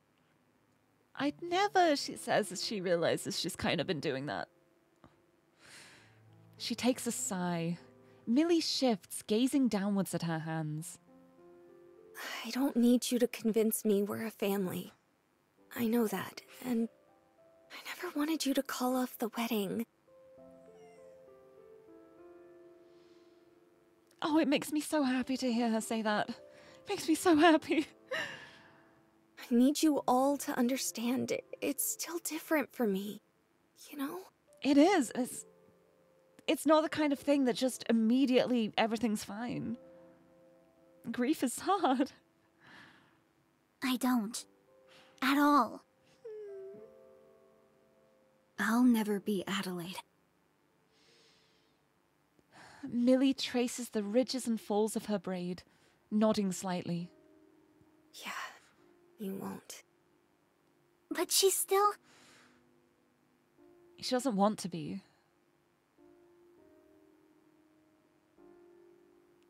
Charlie places a hand on Caprice's leg, shaking her head. She turns to Millie after. Your mom was the brightest, most loving woman I've ever had the privilege of knowing. You were her everything. I wish every single day she could be here to see the amazing woman you've grown to become. I'm so grateful I got the chance to be part of your life growing up. Nothing will ever take that away. Mike and I love each other, but I could never replace her for him. And that's fine. I wouldn't want to. Exactly. It's it's very easy to be like, well, this is the hole in my life, and this is a role that is similar to the role that left the hole. So this new role is going to try and fill it, but like they they can coexist. Charlie doesn't want to replace Millie's mom. She just wants to support and love her from a different role. Like adjacent but different. Different enough that it's not a replacement. He'll never replace her for me either. Mm. No one wants to forget her. We never could, even if we wanted to. Yeah, she's too important for that. The bits and pieces that get lost to time can't erase how much she means to us. How much of our hearts we lost when she passed.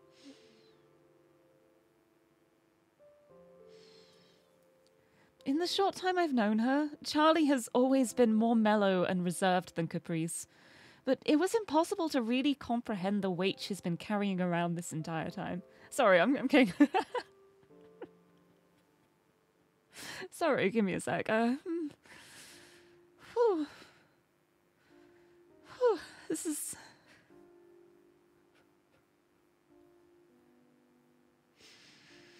This is hard for me too. It's. it's like it's it's not family for me, but I've I've lost several friends. Like I've I've lost more friends than a a person of my age should have lost probably. And and see my problem now is I started thinking about them and and like I'm I'm never to forget them. Like one of them was my best friend. Like my my best friend for many years passed away. It's been a while now. It has been a while. But like she's she's always to be one of my best friends. Like that's that's never going, but it's Thank you for the hydrate. Need to replenish the tears. Getting serious deep talk now. God, I just...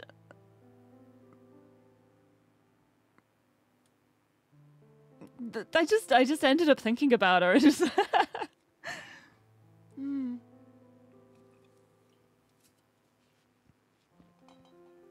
But yeah, it's. I feel like it's a similar situation to Charlie as well. Like the because like we know that Adelaide was like she clearly knew that she was dying. like I'm guessing like illness of some sort. Like it wasn't like a sudden thing out of nowhere. It was like this is going to happen. But even then it like it still doesn't make it easier. Like my my friend was ill for quite a while. She was she was fighting for a, a, a very long time. And even like knowing it would happen still didn't make it easier when it did happen. You know, it's like it still doesn't really help. But yeah, she but she's like I'm never going to forget her. Like I have so many really good friends. I have so many best friends. None of them are ever going to replace her. They they coexist alongside the memory of her. Like none none of them are like filling that hole. Like that hole is always going to be there, but I've kind of filled the hole with happy memories, I guess. It's like instead of feeling the despair of grief, like as time goes on, I just remember the good times. Like all the things we did together, going on holiday together, visiting places together. When we'd talk about talk about Sailor Moon at 1 a.m. together, like just remembering all those good times. Like that's never something that's going to be replaced, even if other memories happen alongside it. But oh goodness, I, I didn't. I, I kind of took myself by surprise there. I didn't expect to burst into tears. Sorry. Sorry, I just. Whew, just just hit me. Just hit me. It's, a, it's it's another thing as well. It's like with grief you can learn to deal with it, but sometimes it will just hit you out of nowhere. It's it's not the kind of thing that just vanishes. It just becomes easier to handle. And Wiz as well, thank you for the head pat. Hi. Hi. Thank you. Thank you. I'm I'm sorry. I, I I genuinely took myself by surprise with that. I didn't think I was I didn't think this conversation would hit me this hard, but I think like I, it's because I have so many parallels with Charlie. Oh my goodness, like, ugh, huh. Why is this game so relatable? It should be illegal. How dare it? How dare it? Why do I relate with every single character? Why? How?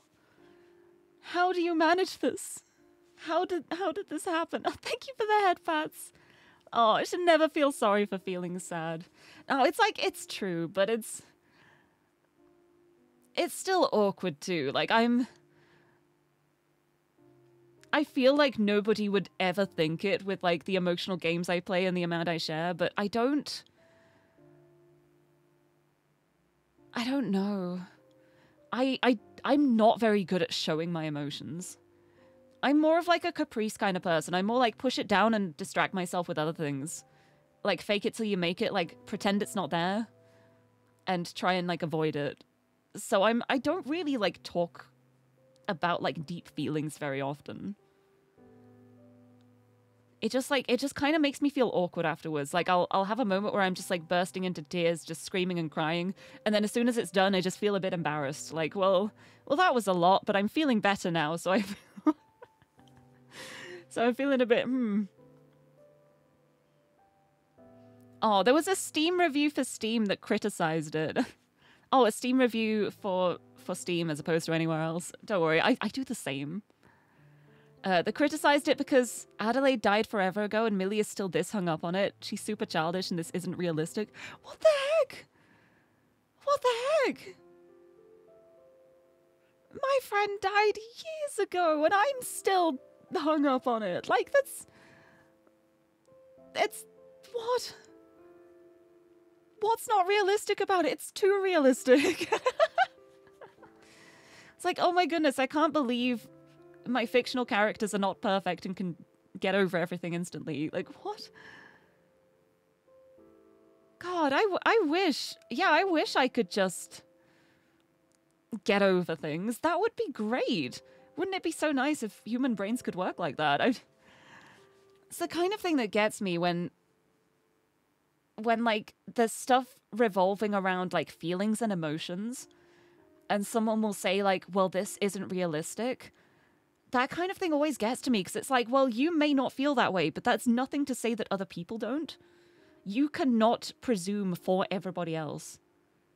Like just because i'm not bothered by one thing doesn't mean someone else won't be super bothered by it. It's you can't talk for everybody. That's wild.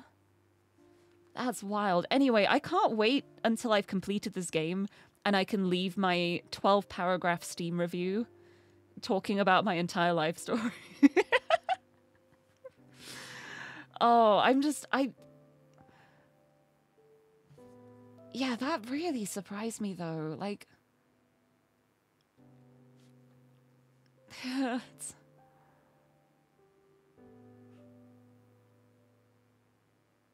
I think it was this line. yeah. I think it's this line that got me. These lines. These these are the lines that got me.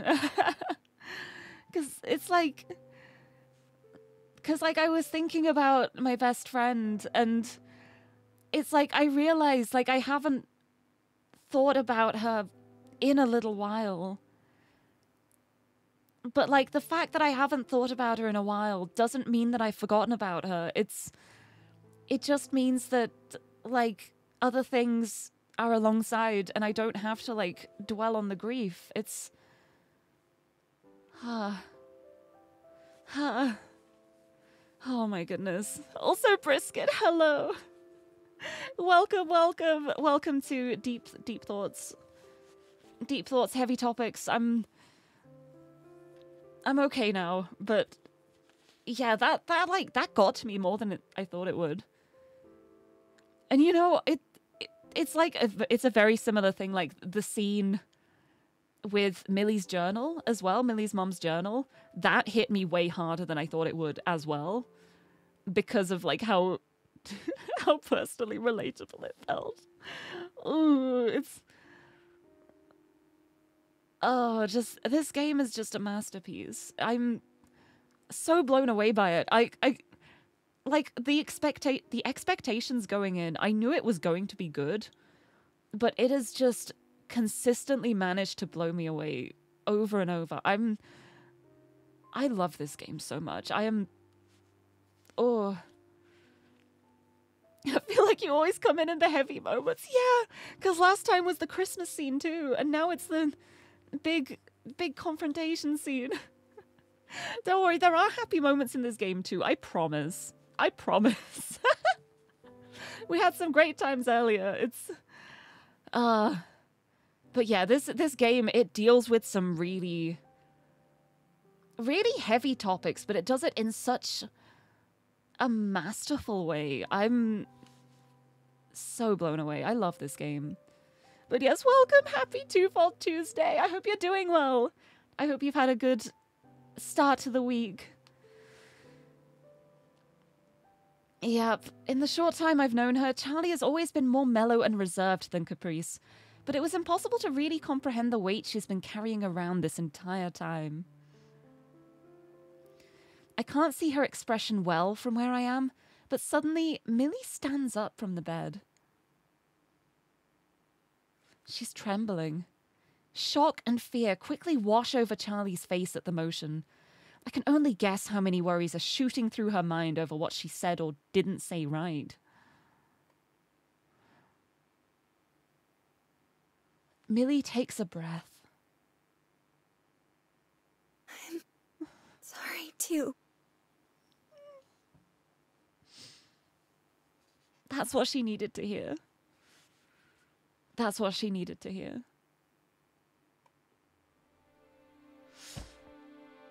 Hmm.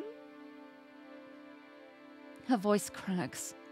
Charlie reaches out and pulls her into a hug as Millie begins to cry.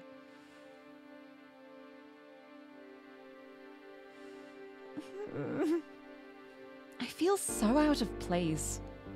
I want to get out, give these three some privacy. I stand up, but as I do, I notice Caprice.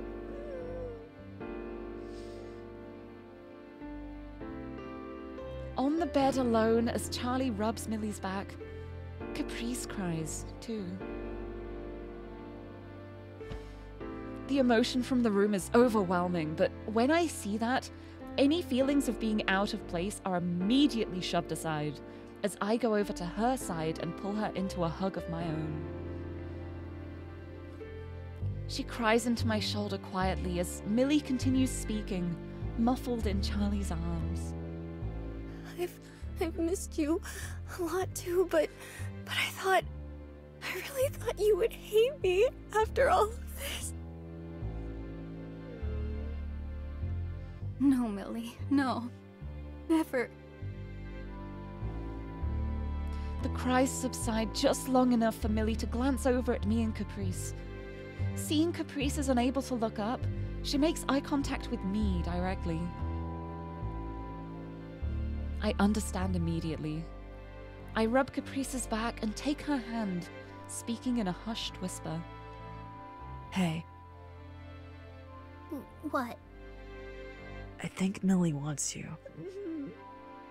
Really? Yeah. Really, really. Come on. Oh. I stand up, offering Caprice myself as support to lean on as she lifts off the bed. She leans on me for the three steps it takes to reach her family. Caprice, I I don't remember her. Not really, and I'm sorry I don't because maybe I could understand you better. But I care about you. I didn't mean to. I, I mean, I was trying to cheer you up. That's all. I wanted you to be happy. Please be happy. I didn't do it the right way, but that's why. I tried everything, thinking maybe the next thing would magically solve all our problems. Yeah. And it didn't. I thought if you could just be as excited about the wedding as I am, we wouldn't need to fight anymore. I'm sorry. Caprice grips my hand as she speaks, so tightly I think both of our knuckles turn white. As she finishes, her grip loosens. She turns away, towards me. I give her hand two quick squeezes. She glances up to me, her eyes shielded by her wispy bangs. I try to guide her gaze with my own, back towards her family. One more little push. Aren't you going to meet her halfway? Yeah, that's what you said, right? Oh. I should, shouldn't I? Mm, yeah. I'll be right here. Yeah. Promise?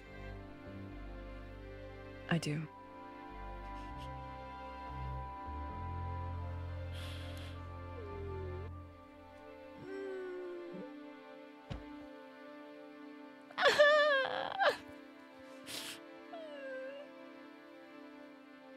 Family. Oh, family.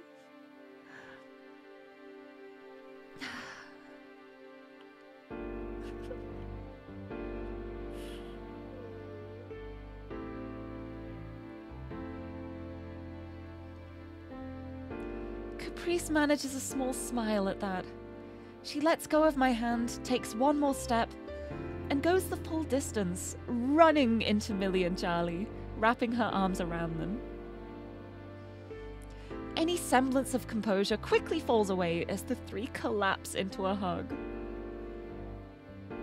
The three cry, but there's a lightness to it. A love strong enough that makes them all laugh just a little at how tightly they're holding each other. Caprice, I'm sorry, No, I don't want to hear it. but It's okay. I know already, okay? I know. Millie sighs, but holds her sister tighter all the same.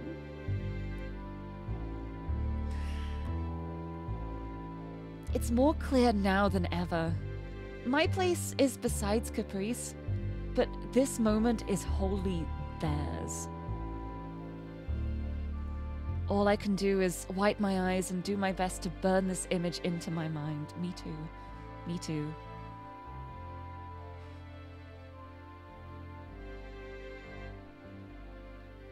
burning it into my mind, thank you. Of Charlie and her children.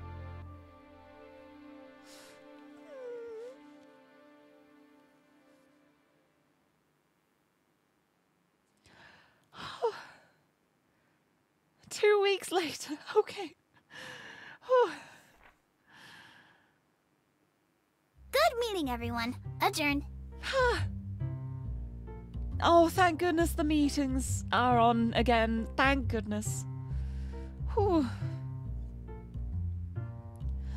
And with that, the first art club meeting of the final semester concludes. It was as if the winter break never even happened.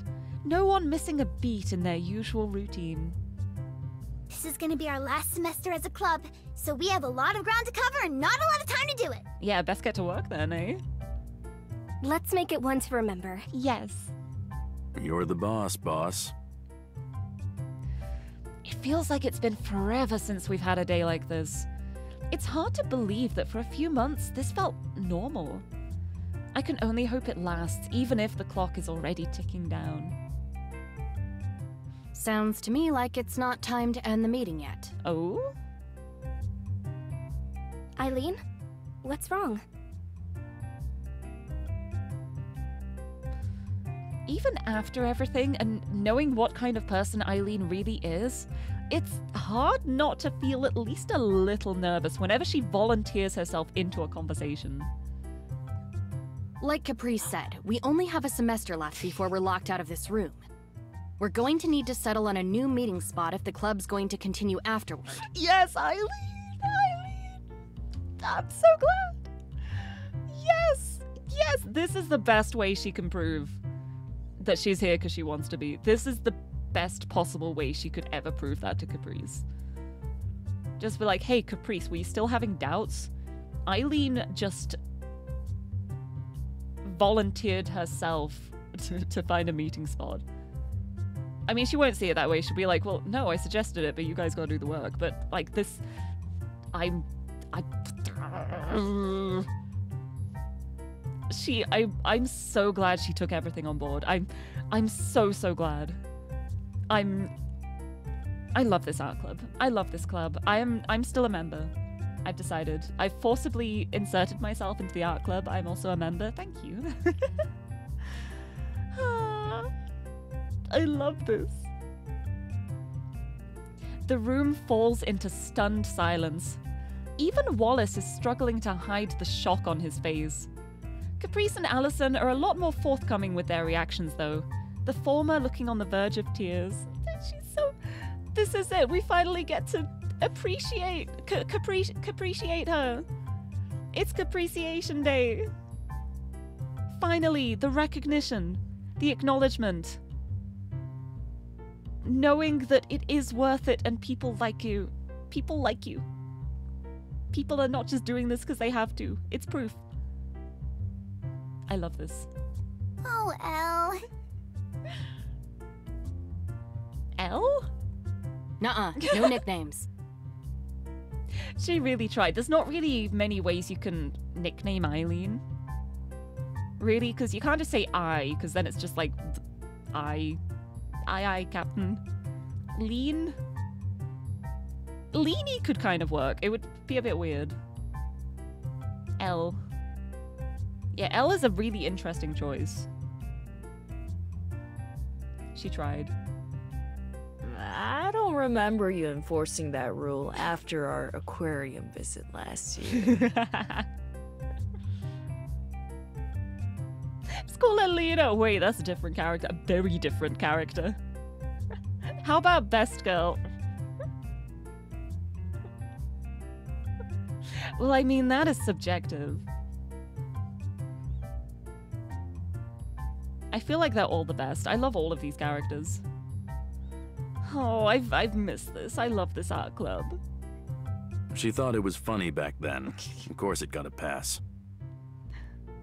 As Wallace and I press at Eileen's buttons, Allison hovers around us, tilting her head back and forth, trying to shake an idea loose. I love how every time Allison's thinking, she's like, get the thought out of my head. She's right, though. Mm-hmm. We should figure out a new place sooner rather than later. We have half a year to decide, but that'll go by fast. Very true.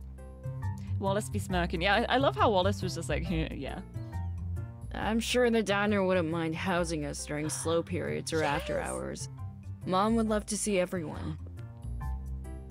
This is the this is I'm forgetting how to speak. Decisions are being made. Oh, You think so? yes. Her face lights up the way it used to, immediate and radiant. The old owner put comfort and community at the top of her priorities when running things. I think our little club would fit in perfectly with her Yes. idea of the place. It's community. It's a community gathering of five people. Sounds like all our problems have been solved then. yeah. Not until we can get actual confirmation. Talk to your management ASAP. I love how no nonsense Eileen is. She she knows what needs to be done. She's gonna make sure it gets done. Yes, ma'am. Okay, in that case, the meeting is now adjourned. For real this time. Yay! Wallace and Eileen slowly file out of the room after exchanging their goodbyes. Allison looks ready to follow, but stops halfway to the door, returning to Caprice and I after a moment's deliberation. Bonus Allison scene for doing the Allison friendship route, I guess. Hey, Olive. Yeah? Even if the call was meant for me, it seems to have done an equally good job of attracting Caprice's attention, tilting her head up from the bag she was in the middle of packing up. What's up? The ceiling. Yeah. I just. Mm, I don't know if you remember, but I told you way at the start that I liked our small club just the way it was. Yeah. That sounds vaguely familiar, I think. I bobbed my head a couple times, trying to jolt the memory awake.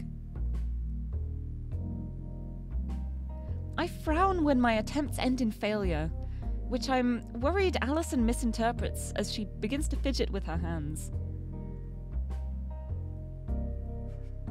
I guess I wanted to say that I'm glad you're around. The club really feels complete with you here now. I bet Allison has been thinking about that comment this whole time, worrying about it. And Olive is just like, they, they just immediately forgot it. That's so funny. it's the kind of thing I do. Overthink a statement, be like, oh, I hope you didn't take this the wrong way. And then the person's like, oh, I, I no, I didn't. I can feel the warmth rising to my cheeks. Hopefully, not as obvious to Caprice and Allison as it is to me. the thinker. The overthinker. Oh, I uh, appreciate it. But where'd this come from? I'm not really sure, ah. honestly. The mood just felt a whole lot lighter today, you know? It did, didn't it? It felt right. I do, yeah. Content with my answer and accompanying smile, Allison turns to Caprice. I missed having you around, Caprice. Yes, Capriciation Day! Let her know how much you care.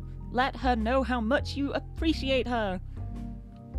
Don't take it for granted. I love this. I'm so happy.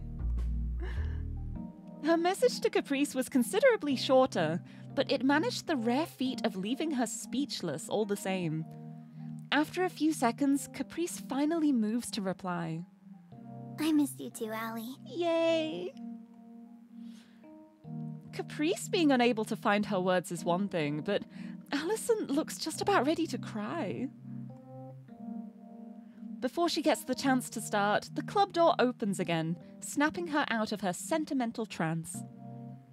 Hey, everything okay? What's keeping you? Just emotions, don't worry. Allie and Ollie were just talking about sappy stuff for a while. Everything's good. Just imagine Eileen just being like, oh yeah, leave me out of that. I'm glad.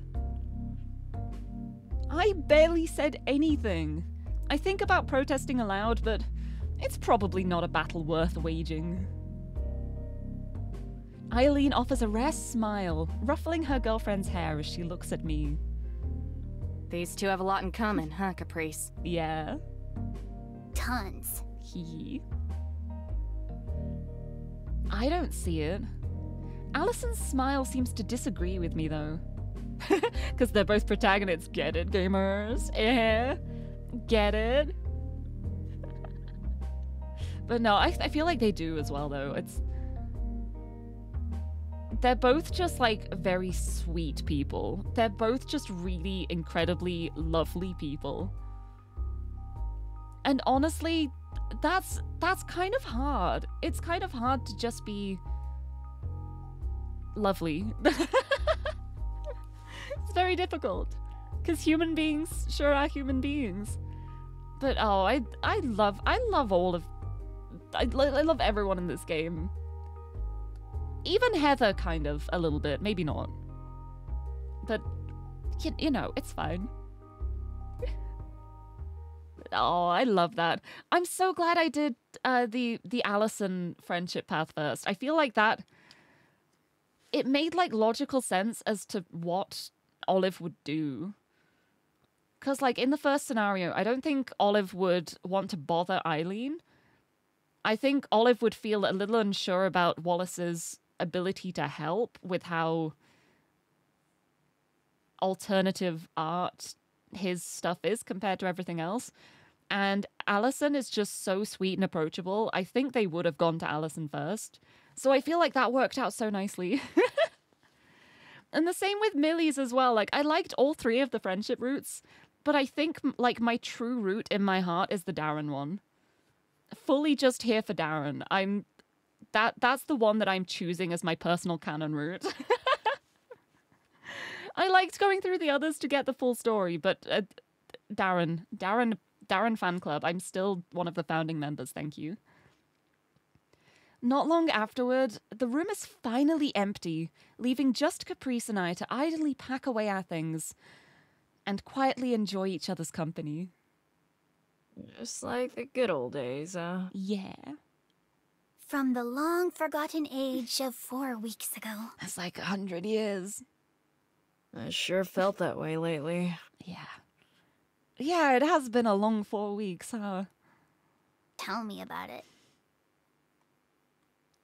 Finishing stuffing her bag full with the art supplies she brought for the day, she finds herself a seat on the edge of a table, looking out a nearby window.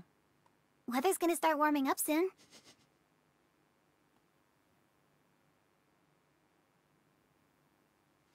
The weather. Sorry. Spring's right around the corner.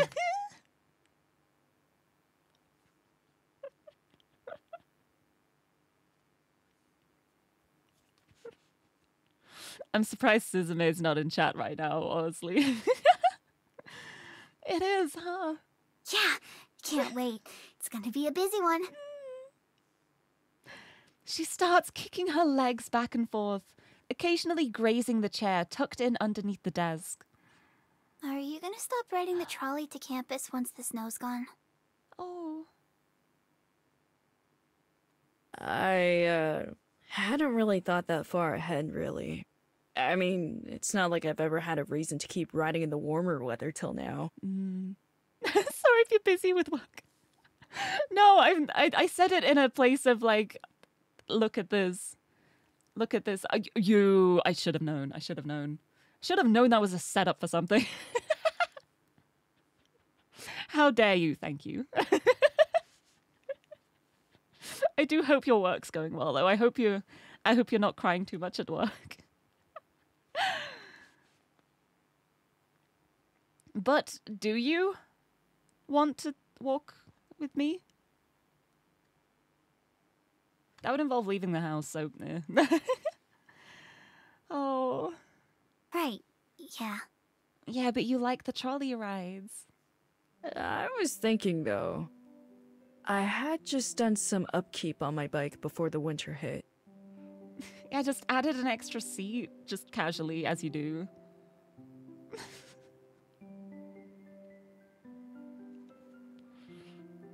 Yeah. Your one seater bike? I think we could work something out. If you don't mind holding on. Oh my. Caprice's eyes sparkle at the prospect. The door opening behind us seems to catch us both by surprise, turning around in unison to get a good view of our visitor. It turns out we have two. Half of the school's writing club. Yo. Hey. Afternoon, you two. First day of classes treat you well? Yeah, we've got glasses, Millie. And Hayley doesn't have her headphones on. You know how it is. Just throwing class syllabuses around and then shooing us out the door. Oh, nice glasses, by the way. Hee Thank you. I was complaining about my contacts to Hayley the other day when she asked why I bothered. I didn't have a good answer. Yeah. Hayley smirks at that. She's really going wild with these personal changes this year. They both have changes. We got the hair, we got the glasses, we got the favorite color. New year, new me. New start. so, what's up? We're all done with our club for the day, unless you've come to beg to join. It's so nice seeing her like this again. It's. Yes! This caprice, this is my caprice. Yes! We'll think about it. I love that she was joking and she's getting like a genuine answer. She did not expect that. Goblin face activated. Millie and Hayley share a knowing look, but the secret doesn't remain hidden for long as Caprice glances between the two of them with genuine excitement in her eyes. Really? You're gonna join? I said I'll think about it. Well, think faster. What about the riding club? We're ditching it. What?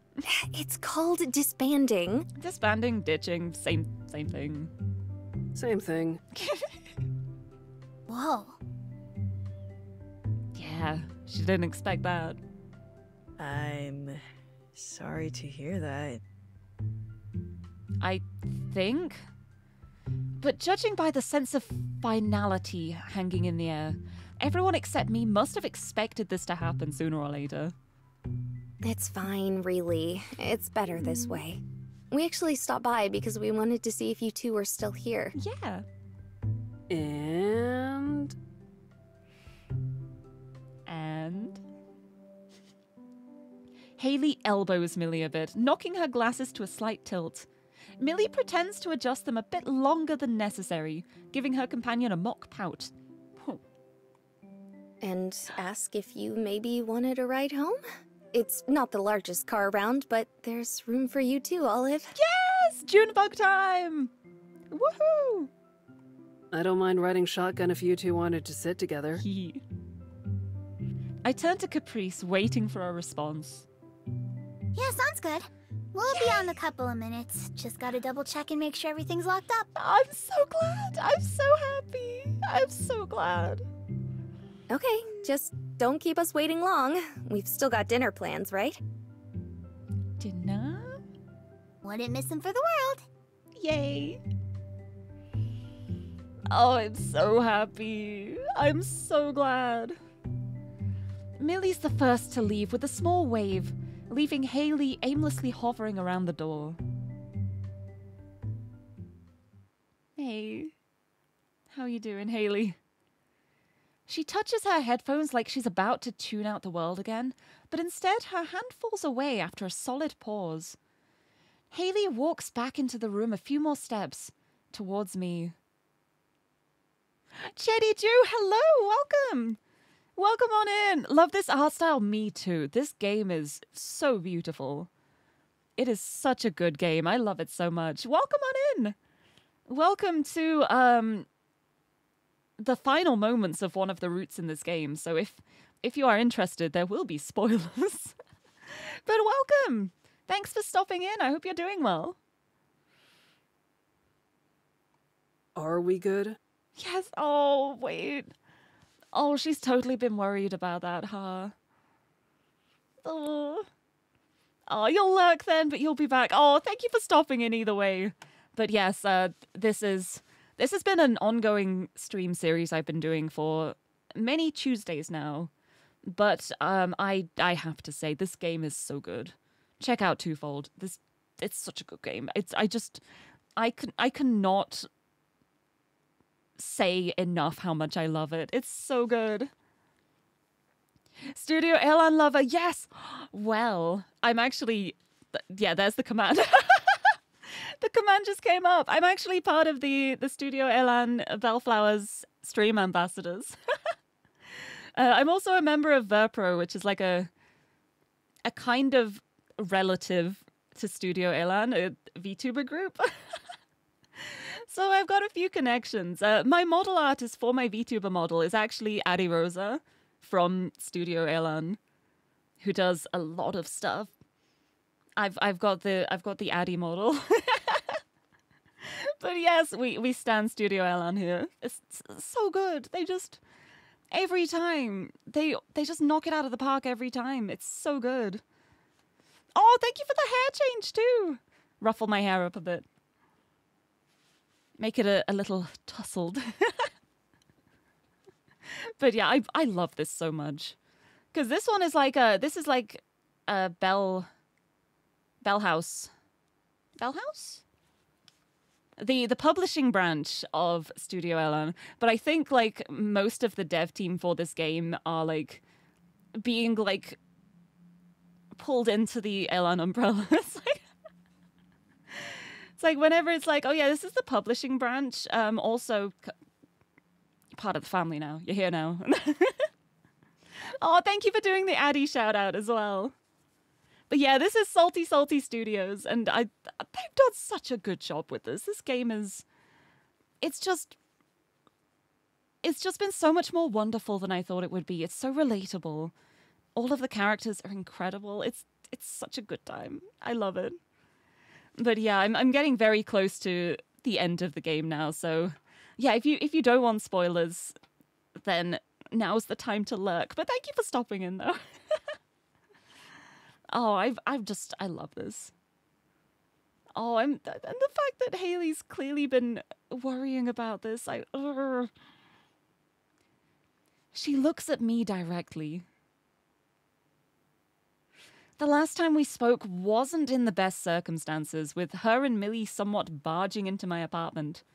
Still, after everything, I didn't expect her to still be thinking about that. Also, Peachy, thank you for the head pad. Welcome, welcome. How's it going? Happy Tuesday. Happy Twofold Tuesday. A smile comes to me naturally, and I give her a nod. Yeah, of course. Yay! Ah, she sighs in relief. You really didn't need to worry about that, you know. We were both just trying to help, right? Yep. The power of the two secondary colors. right.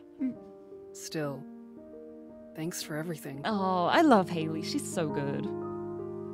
Oh, I hope Twofold Tuesday has been good. It has. It, this game is amazing. It's been really emotional. Like it, I've I've cried multiple times today, but it's just so good. It's so I mm, I can't praise it enough. I love this game. Me too. Even if in the end Caprice and Millie handled it all by themselves, uh, all themselves. Uh, I'm still grateful that Millie had someone by her side like Hayley while they figured it out. I'm sure she feels the same towards me and Caprice. Without anything else to add, Hayley and I find ourselves at a rather awkward standstill of not knowing how to really end the conversation. Something eventually comes to her and, gest- and gestures towards the door with a thumb.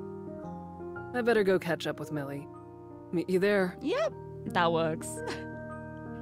I love the moment of just like start a conversation, not know how to end it, just like stand there awkwardly until someone's like, "Okay, I'll I'll be going." Shakes computer. I love this visual novel so much. I do. I love it. Oh, and thank you for the lurk as well, Peachy. I hope you have a good Tuesday. Thank you for stopping in.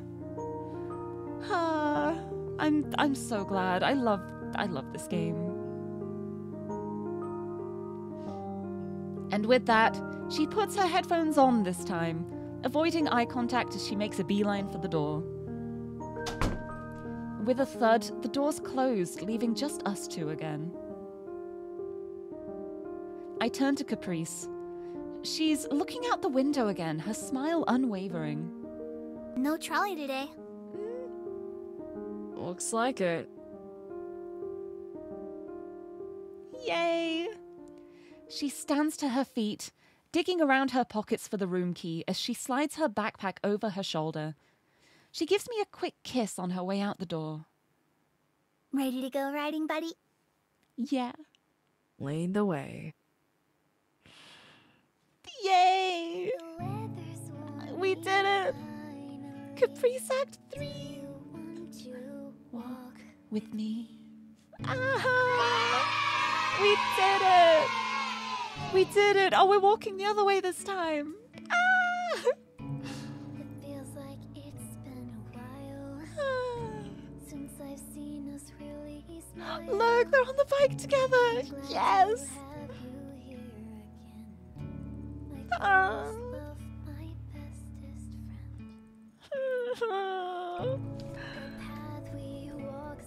Um, oh, I'm so glad. Oh, it's August with the watering can. She's using the watering can. Oh, I love this. Oh, so cute. Yeah, back for the credits. This is so cute.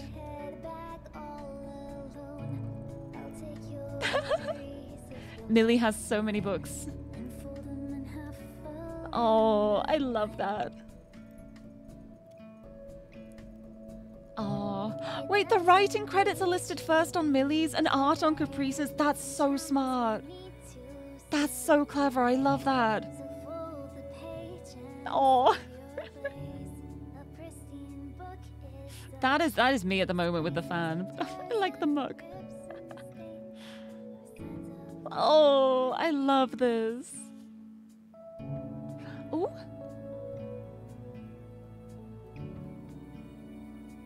Learning how to pick locks, I see.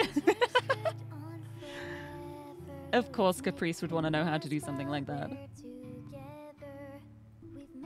I kind of want to know how to do that now, to be honest. Oh, Join the art club. Look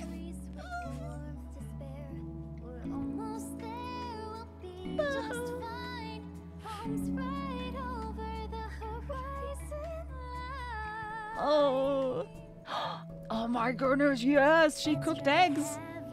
She cooked eggs and did not blow up the kitchen. So proud. So proud of her. Let her cook. She knows how to now. It's okay. Adopt- Wait, they're adopting a puppy? They're adopting a puppy? Oh. Oh, they're adopting a puppy. Oh my goodness. Oh my goodness. the eggs are on the plate and not the ceiling. I know, I'm so proud. Look at the aquarium, of course. Oh.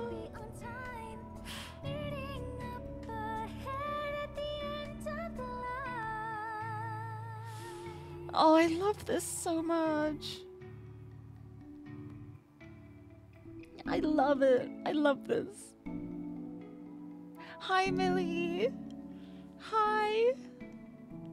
We're riding back together. Yeah.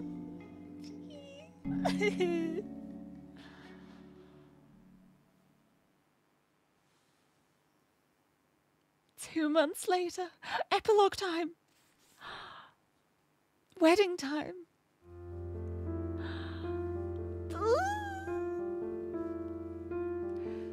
Following a long, cold winter, the trees had finally begun to regain their green. Underneath a pleasantly warm sun, Charlie and Mike said their vows. After a year of heartbreak and strife leading up to this moment, it was over in an instant, punctuated by a modest applause and falling flower petals. Coming from a family as small as theirs, it was the first wedding Olive had ever gotten the chance to attend. The image in their head of a big grand event didn't quite match the more subdued reality of the ceremony today. Oh, look at I'm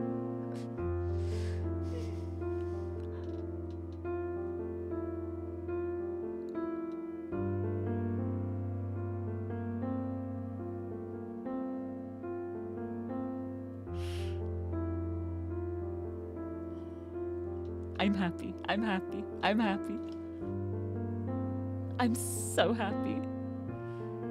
And now, Olive, Caprice, Millie, and Hayley joined a handful of friends and family, watching the couple share their first dance together, moving to and fro in a subtle, endearing clumsiness that could easily be mistaken for grace. I love this so much. Three beautiful couples on screen right now. Right! In this house, we support the Hayley Millie ship. Honestly, like, I'm. If I hadn't been leaning towards Caprice route, personal canon route anyway, this would solidify it. Like, this feels right. This. This feels right. This feels good. I'm happy. Best thing about being a dev is you can just decide to make your head canon canon. Yeah, just. It's all good. Just. Uh, It's just like a Millie root also canon, except they realize they're better as friends after a while. And then Olive gets together with Caprice and Millie gets together with Hayley. I mean, what? They look good together. they do. Everyone looks good together here. I love this. Yeah. Hmm. The four huddled together, sharing whispers to themselves. Olive watched on, even as little bursts of conversation brought their attention back to their trio of friends. Despite only knowing them for a few months, this was the first time Olive had seen Mike and Charlie act this way. They no longer had good reason to hide their affections for the sake of their daughters. They could actually show it now. They can actually they can actually love each other without worrying about how other people react. That mm, that makes me happy. If the two had noticed the quiet chatter, they had done a good job of hiding it. Never losing each other's eyes for even a moment, the world didn't matter to them right now. A reprieve well over a decade in the making. Caprice's smile couldn't have been wider, her body swaying gently with the music as she whisked Olive along with her, their hands intertwined. It was only when she caught a glimpse of Millie out of the corner of her eye, head down and hands clenched together in front of her, did her brilliant smile lose its luster. Hey, are you okay? It's gonna be hard. It's gonna be hard for her. The question was enough to break Millie from the trance she would have preferred to stay in. Yeah, I'm fine. No, you're not. You don't have to watch if you don't want. I'm sure they'd understand. No, no, I I want to be here. Really, it's just. This is really it, huh? The end. No, the start. Oh, Millie doesn't have a braid. She do, she does have like a smaller braid on the other side. It showed like when they were all sitting together. She's got the the reduced braid. But yeah, she doesn't have the the large side braid. Millie was quick to wipe her tears before they could even start forming, determined to retain her composure. I don't think so. And Caprice has got a braid as well. It's not the end. End of a chapter, maybe. Yeah. But still part of the same book. Yeah. The writing club's really rubbed off on you, huh? Yes, he is small braid. Ah. I love this. I'm. Hmm. It's going to be hard. It's not the kind of thing that she can just like immediately get over and be fine with, like straight away. It's going to take time. It's going to be difficult. But but they have each other. They have each other now. And I'm makes me so happy. Hayley responded with one of her usual shrugs. Unlike similar replies she had made before, this one had felt more like a deflection than a result of her apathy. Will you three stop trying to make me cry in public? Unbelievable. Get those tears out. Just know we're here for you if you need it, okay? You've got a reliable little sister now, you know? Yeah. Oh, you. Oh, you. As quiet as the group attempted to be, a small ripple of laughter made its way above the music anyway. Olive released their partner's hand, the sisters pulling each other into a hug. These embraces had become more common in the last few weeks, like the two had been making up for lost time, and today they held each other in both celebration of the day and support for one another. Tears pricked at Millie's eyes. Her family was all here, both found and familial. And Caprice's own tears fell silently at the joy. Charlie and Mike continued to waltz together on the dance floor. They had worn smiles all day, but those paled in comparison to the ones they had now. The last several months had been the most turbulent of Olive's life, with some of the highest highs and lowest lows. Their time as a stranger to this circle, isolated and desperate for help, felt like several lifetimes ago. In the last few months, they found themselves easily falling into a waltz of their own with Caprice. Their space in each other's world was not so much carved out as it was simply found. Each step together, uh, each step taken together, bringing them to a new day filled with wonder and love.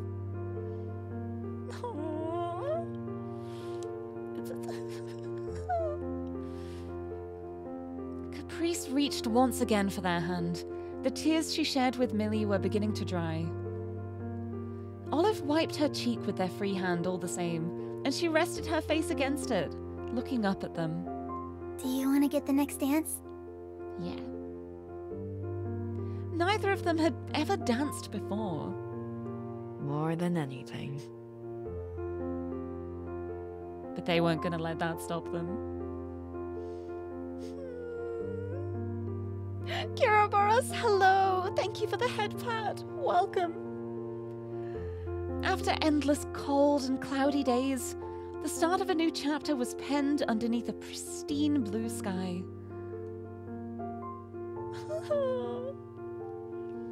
Two women started the day as friends and ended it as sisters.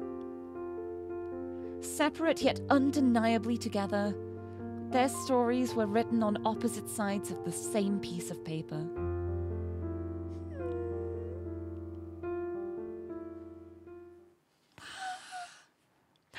Circle back around both paths and something borrowed, something blue. Oh my goodness, wait. I just realized as well because Millie's epilogue was called like the achievement was something old, something new. something borrowed, something blue. It's the it's the whole wedding phrase. Oh, I love that. Oh, I love that. I love that. Ooh, yeah, the wedding thing of like having something old, something new, something borrowed, something blue. I, I love that. I love that. And now you've unlocked the following extras. What have I unlocked? Guest art! Sounds of Winter soundtrack. Thank you for reaching the end of this story. Now the first chapter is waiting for you. The visual novel Perfect Circle is now available. Access it within the unlock stream. Oh,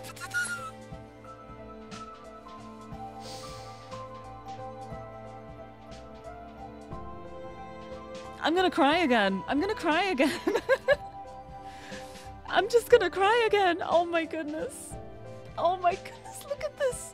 Look at this. This is so beautiful. This is. Ah. I love this. Thank you for the hydrate. Yeah, I, wait, I need to I need to replenish my tears. I need... Oh, I love this. And I love how I was right. I was right. I figured when I did the Caprice route, it would show the blue flowers. And then the flower for the cactus for Olive. They're, they're all here. They're all here. I'm so happy. Oh, I love it. I love this. Anyway, I've completed Millie's route. I've completed Caprice's route. And next time... Oh, next time I guess I have Eileen and Wallace first. But uh, hopefully that won't take me as long as Heather took me when I finished uh, Millie's route. but yeah, that means next week. It's not the end of Twofold Tuesdays yet. I still have more to go. But yeah, well, we can do the Wallace friendship route, we can do the Eileen friendship route, and then the Perfect Circle visual novel. Oh, I'm so I'm so excited. I'm so glad I managed to reach the end of the route. And that was absolutely perfect timing as well, because it is it's a minute to six o'clock.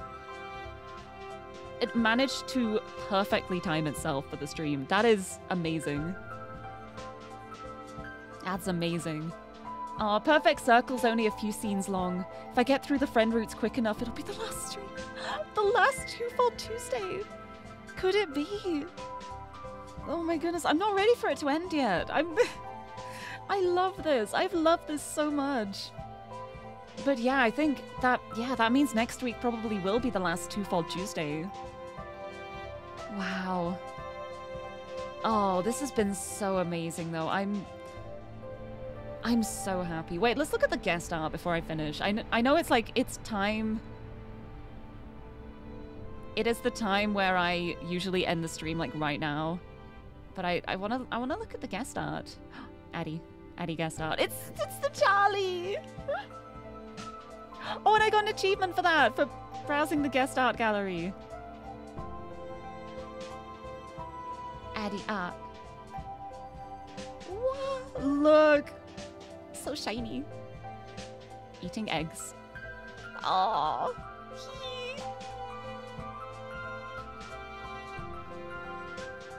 Let's have a look. I love this. I love this so much.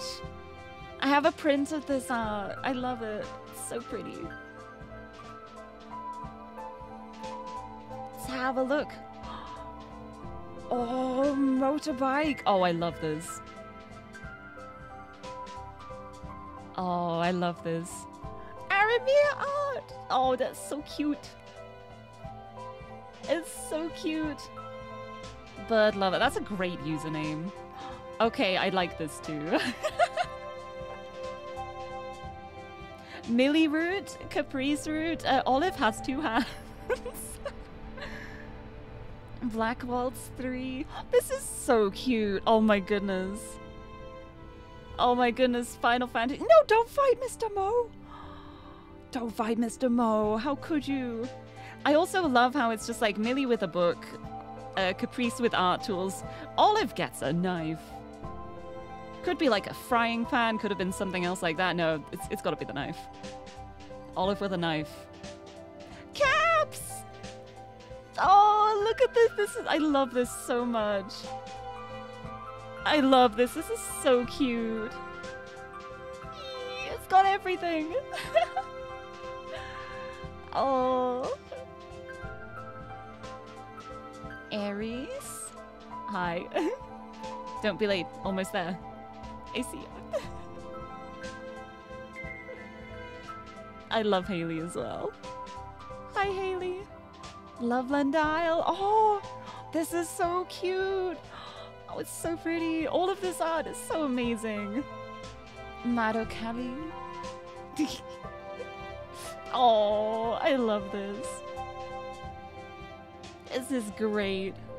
A lot of love and passion went into Twofold, and I'm glad this beautiful story is here for everyone to enjoy. Me too.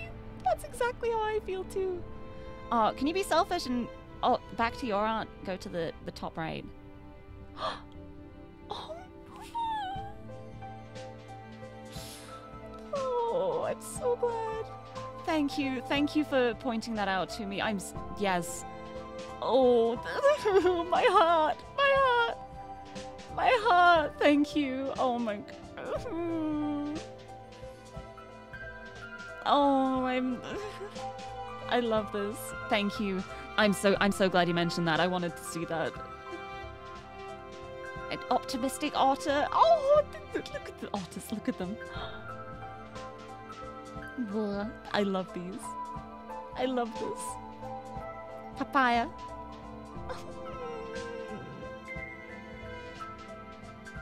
Billy. Shino. Oh. Wait, what is this game? I want to play this game.